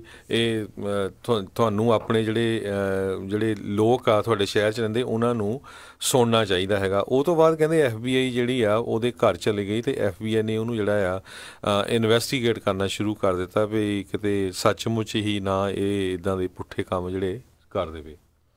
ਜੀ। ਬ੍ਰੈਕਸਿਟ ਦੇ ਮਾਮਲੇ ਦੇ ਵਿੱਚ ਇਹ ਹਰਜੋਤ ਸਿੰਘ ਜੀ ਅਪਡੇਟ ਆ ਰਹੀ ਹੈ। ਕਹਿੰਦੇ ਵੀ ਥਰੀਸਾ ਮੇ ਆਪਣਾ ਜਿਹੜਾ ਆ ਅਸਤੀਫਾ ਜਿਹੜਾ ਉਹ ਦੇ ਸਕਦੀ ਆ। ਇਸ ਚੀਜ਼ ਨੂੰ ਦੇਖਦੇ ਹੋਏ ਵੀ ਜਿਹੜਾ ਬ੍ਰੈਕਸਿਟ ਦੀ ਵੋਟ ਜਿਹੜੀ ਆ ਜਿਹੜੀ ਤੀਜੀ ਬ੍ਰੈਕਸਿਟ ਦੀ ਵੋਟ ਜਿਹੜੀ ਉਹਨਾਂ ਨੇ ਡੀਲ ਇਸ ਟਾਈਮ ਬਣਾਈ ਹੋਈ ਆ ਉਸ ਨੂੰ ਉਹ ਪਾਸ ਕਰਵਾ ਲੈਣ। ਕੋਸ਼ਿਸ਼ ਕਹਿ ਲਓ ਵੀ ਹੁਣ ਤਾਂ ਘੰਟਿਆਂ ਦੇ ਸੰਬੰਧ ਦੇ ਵਿੱਚ ਹੀ ਜਿਹੜਾ ਹਰਜੋਤ ਸਿੰਘ ਜੀ ਸਮਾਂ ਰਹਿ ਗਿਆ ਆ। ਮੇ ਵੀ 72 ਕੁ ਘੰਟੇ ਦਾ ਸਮਾਂ ਜਿਹੜਾ ਰਹਿ ਗਿਆ ਆ ਵੀ ਜੇ ਕੋਈ ਗੱਲ ਨਹੀਂ ਬਣਦੀ ਤਾਂ ਫਿਰ ਸਮਝ ਲਓ ਵੀ ਜਿਹੜਾ ਵਿਦਆਊਟ ਡੀਲ ਜਿਹੜਾ ਬ੍ਰਿਟੇਨ ਆ ਯੂਕੇ ਆ, ਉਹ ਯੂਰਪੀਅਨ ਸੰਘ ਦੇ ਵਿੱਚੋਂ ਜਿਹੜਾ ਉਹ ਬਾਹਰ ਜਾ ਸਕਦਾ ਹੈਗਾ ਆ। ਉਦਾਂ ਪਿਛਲੇ ਦਿਨਾਂ ਦੇ ਵਿੱਚ ਪਿਛਲੇ ਦਿਨਾਂ ਦੇ ਵਿੱਚ ਜਿਹੜਾ ਯੂਰਪੀਅਨ ਸੰਘ ਨੇ ਮੋਹਲਤ ਤਾਂ ਦਿੱਤੀ ਸੀ ਬਸ਼ਰਤੇ ਜੇ ਉਹ ਆਪਣੇ ਪਾਰਲੀਮੈਂਟ ਦੇ ਵਿੱਚ ਉਸ ਦੇ ਉੱਤੇ ਉਸ ਵੋਟ ਨੂੰ ਪਾਸ ਕਰਵਾ ਲੈਂਦੇ ਆ। ਸੋ ਹਾਲ ਦੀ ਘੜੀ ਇਦਾਂ ਦੀ ਜਿਹੜੀ ਸਥਿਤੀ ਆ, ਉਹ ਬਣ ਨਹੀਂ ਰਹੀ, ਪਰ ਉਹਨਾਂ ਅਟਕਲਾਂ ਉਹ ਅਜੇ ਵੀ ਅਟਕਲਾਂ ਹੀ ਹੈਗੀਆਂ ਨੇ ਵੀ ਜਿਹੜੀ ਥਰੀਸਾ ਮੇ ਆ, ਉਹ ਉੱਥੇ ਦੀ ਜਿਹੜੀ ਪ੍ਰਾਈਮ ਮਿਨਿਸਟਰ ਆ ਯੂਕੇ ਦੀ, ਉਹ ਅਸਤੀਫਾ ਜਿਹੜੀ ਉਹ ਦੇ ਸਕਦੀ ਆ ਤੇ ਅਸਤੀਫਾ ਦੇਣ ਤੋਂ ਬਾਅਦ ਦੇ ਵਿੱਚ ਸ਼ਾਇਦ ਜਿਹੜੀ ਆ, ਉਹ ਵੋਟ ਆ, ਉਹਨਾਂ ਦੀ ਬ੍ਰੈਕਸਿਟ ਵਾਲੀ ਉਹ ਪਾਸ ਹੋ ਜਾਵੇ। ਪਰ ਅਜੇ ਵੀ ਬਹੁਤ ਸਾਰੇ ਅੜਚਣਾਂ ਇਨ- ਇਸ ਮਾਮਲੇ ਦੇ ਵਿੱਚ ਉਹਨਾਂ ਦੇ ਸਾਹਮਣੇ ਨਜ਼ਰ ਆ ਰਹੀਆਂ ਆ ਕੰਜ਼ਰਵੇਟਿਵਸ ਦੇ ਸਾਹਮਣੇ। ਜੀ। ਅਗਲੀ ਖਬਰ ਜਿਹੜੀ ਆਸਟ੍ਰੇਲੀਆ ਤੋਂ ਆ ਰਹੀ ਆ, ਇਹ ਬਹੁਤ ਮਾੜੀ ਖਬਰ ਆ, ਕਹਿੰਦੇ ਆਸਟ੍ਰੇਲੀਆ ਦੇ ਵਿੱਚ ਇੱਕ ਬੰਦੇ ਨੇ ਜਿਹੜੀ ਆਪਣੀ ਵਾਈਫ ਆ ਉਹਨੂੰ ਇੰਡੀਆ ਦੇ ਵਿੱਚ ਜਿਹੜਾ ਓਨਰ ਕਿਲਿੰਗ ਕਰਕੇ ਜਾਂ ਕਹਿ ਸਕਦੇ ਆ ਆਪਾਂ ਮਰਵਾ ਦਿੱਤਾ। ਤੇ ਅ, ਰਮਨੀਤ ਕੌਰ ਦੀ ਨਾਮ ਦੀ ਇਹ ਜਿਹੜੀ ਲੇਡੀ ਆ 29 ਸਾਲਾਂ ਦੀ ਇੰਡੀਆ ਵਿਜ਼ਿਟ ਕਰਨ ਹੋਈ ਗਈ ਸੀ। ਤੇ ਉੱਥੋਂ ਜਿਹੜੀ ਆ ਉਹਨੂੰ ਕਹਿੰਦੇ ਕਿਡਨੈਪ ਕਰ ਲਿਆ ਤੇ ਕਿਡਨੈਪ ਕਰਕੇ ਅੱਜ ਜਿਹੜੀ ਆ ਉਹਦੀ ਬਾਡੀ ਆ, ਉਹ ਇੱਕ ਨਹਿਰ ਦੇ ਵਿੱਚੋਂ ਜਿਹੜੀ ਮਿਲੀ ਹੈਗੀ ਆ। ਉਹਦੇ ਸਬੰਧ ਦੇ ਵਿੱਚ ਜਿਹੜਾ ਉਹਦਾ ਹਸਬੰਡ ਆ ਉਸ ਨੂੰ ਜਿਹੜਾ ਚਾਰਜ ਕੀਤਾ ਗਿਆ ਹੈਗਾ ਆ। ਇਹ ਵੀ ਪਤਾ ਲੱਗਾ ਹੈ ਕਹਿੰਦੇ ਵੀ ਜਿਹੜਾ ਉਸ ਲੇਡੀ ਦਾ ਹਸਬੰਡ ਆ ਜਿਹੜਾ ਆਸਟ੍ਰੇਲੀਆ 'ਚ ਪੱਕਾ ਰਹਿੰਦਾ ਆ ਤੇ ਉਸ ਦੀ ਕੋਈ ਗਰਲਫ੍ਰੈਂਡ ਕੈਨੇਡਾ ਦੇ ਵਿੱਚ ਸੀਗੀ ਤੇ ਉਹ ਜਿਹੜੀ ਆ ਉਹਦੇ ਨਾਲ ਵਿਆਹ ਕਰਾ ਕੇ ਕੈਨੇਡਾ ਮੂਵ ਹੋਣਾ ਚਾਹੁੰਦਾ ਸੀ ਅ, ਤੇ ਉਸੇ ਗਰਲਫ੍ਰੈਂਡ ਵੱਲੋਂ ਜਿਹੜੀ ਆ ਆਪਣੀ ਜਿਹੜੀ ਵਾਈਫ ਆ ਉਹਦਾ ਉਸਨੇ ਕਤਲ ਕਰਾਇਆ ਕਿਉਂਕਿ ਉਹਦੀ ਜਿਹੜੀ ਗਰਲਫ੍ਰੈਂਡ ਆ ਉਹ ਵੀ ਇੰਡੀਆ ਗਈ ਹੋਈ ਸੀ ਤੇ ਇਸ ਰਵਨੀਤ ਕੌਰ ਦੇ ਕਤਲ ਤੋਂ ਇੱਕ ਦਿਨ ਬਾਅਦ ਉਹ ਚੜ ਕੇ ਵਾਪਸ ਜਿਹੜੀ ਆ ਉਹ ਕੈਨੇਡਾ ਆ ਗਈ। ਸੋ ਇਹਦੇ ਵਿੱਚ ਜਿਹੜੀ ਆ ਇੰਟਰਪੋਲ ਵੀ ਆਸਟ੍ਰੇਲੀਅਨ ਪੁਲਿਸ ਵੀ ਤੇ ਇੰਡੀਆ ਦੀ ਪੁਲਿਸ ਵੀ ਬਹੁਤ ਜ਼ਿਆਦਾ ਜਿਹੜੀ ਇਨਵੈਸਟੀਗੇਸ਼ਨ ਕਰਨ ਲੱਗੀ ਹੋਈ ਹੈਗੀ ਆ। ਬਿਲਕੁਲ, ਇਹ ਬਹੁਤ ਹੀ ਮੰਦਭਾਗੀ ਜਿਹੜੀ ਖਬਰ ਜਿਹੜੀ ਆਈ ਆ। ਆਸਟ੍ਰੇਲੀਆ ਦੇ ਵਿੱਚੋਂ ਇਦਾਂ ਦੀਆਂ ਪਹਿਲਾਂ ਵੀ ਜਿਹੜੀਆਂ ਖੁਸ਼ਕ ਜਿਹੜੀਆਂ ਖਬਰਾਂ ਆਈਆਂ ਆ, ਜਿਸ ਨੇ ਜਿੱਦਾਂ ਕਮਿਊਨਿਟੀ ਨੂੰ ਜਿਹੜਾ ਝੰਜੋੜ ਦਿੱਤਾ ਸੀਗਾ ਕਾਫੀ ਨੌਜਵਾਨ ਉੱਥੇ ਉਹ ਹੈਗੇ ਨੇ, ਕਿਉਂਕਿ ਬਹੁਤ ਸਾਰੇ ਜਿਹੜੇ ਉਹ ਉੱਥੇ ਪੜ੍ਹਾਈ ਦੇ ਪੱਧਰ ਦੇ ਉੱਤੇ ਜਿਹੜੇ ਉਧਰ ਗਏ ਪਹਿਲੋਂ, ਤੇ ਫਿਰ ਉਹ ਹੌਲੀ ਹੌਲੀ ਜਿਹੜੇ ਸਾਰੇ ਜਾਣੇ ਆਪੋ ਆਪਣੇ ਉਹਨੂੰ ਉੱਥੇ ਐਸਟੈਬਲਿਸ਼ ਜਿਹੜੇ ਕਰ ਰਹੇ ਨੇ, ਪਰ ਇਸ ਖਬਰ ਨੇ ਕਿਤੇ ਨਾ ਕਿਤੇ ਜਿਹੜਾ ਕਾਫੀ ਝੰਜੋੜ ਕੇ ਜਿਹੜਾ ਉਹ ਰੱਖ ਦਿੱਤਾ ਆ। ਇਹ ਘਟਨਾਵਾਂ ਜਿਹੜੀਆਂ ਆ ਹੋਣੀਆਂ ਇੱਕ ਕਮਿਊਨਿਟੀ ਦੇ ਲਈ ਉਹ ਚੰਗੀ ਖਬਰ ਨਹੀਂ ਹੈਗੀਆਂ। ਜੀ। ਨਹੀਂ। ਤੇ ਹਰਜੋਤ ਸਿੰਘ ਜੀ ਸਮਾਂ ਵੀ ਆਪਣੇ ਅੱਜ ਦੇ ਪ੍ਰੋਗਰਾਮ ਦਾ ਹੁਣ ਸਮਾਪਤ ਹੋ ਚੁੱਕਾ ਹੈ। ਮਿਲਾਂਗੇ ਆਪਾਂ ਆਪਣੇ ਸਾਰੇ ਹੀ ਜਿਹੜੇ ਸਰੋਤਿਆਂ ਨੂੰ ਅਗਲੀ ਵਾਰ। ਉਦੋਂ ਤੱਕ ਲਈ ਸਾਡੇ ਦੋਨਾਂ ਵੱਲੋਂ ਤੁਹਾਨੂੰ ਸਾਰਿਆਂ ਨੂੰ ਹੀ ਸਤਿ ਸ੍ਰੀ ਅਕਾਲ। ਜਿਉਂਦੇ ਵਾਸਤੇ ਰਹੋ ਹੱਸਦੇ ਖੇਲਦੇ ਰਹੋ ਸੁਣਦੇ ਰਹੋ ਪੰਜਾਬੀ ਰੇਡੀਓ ਯੂਐਸਏ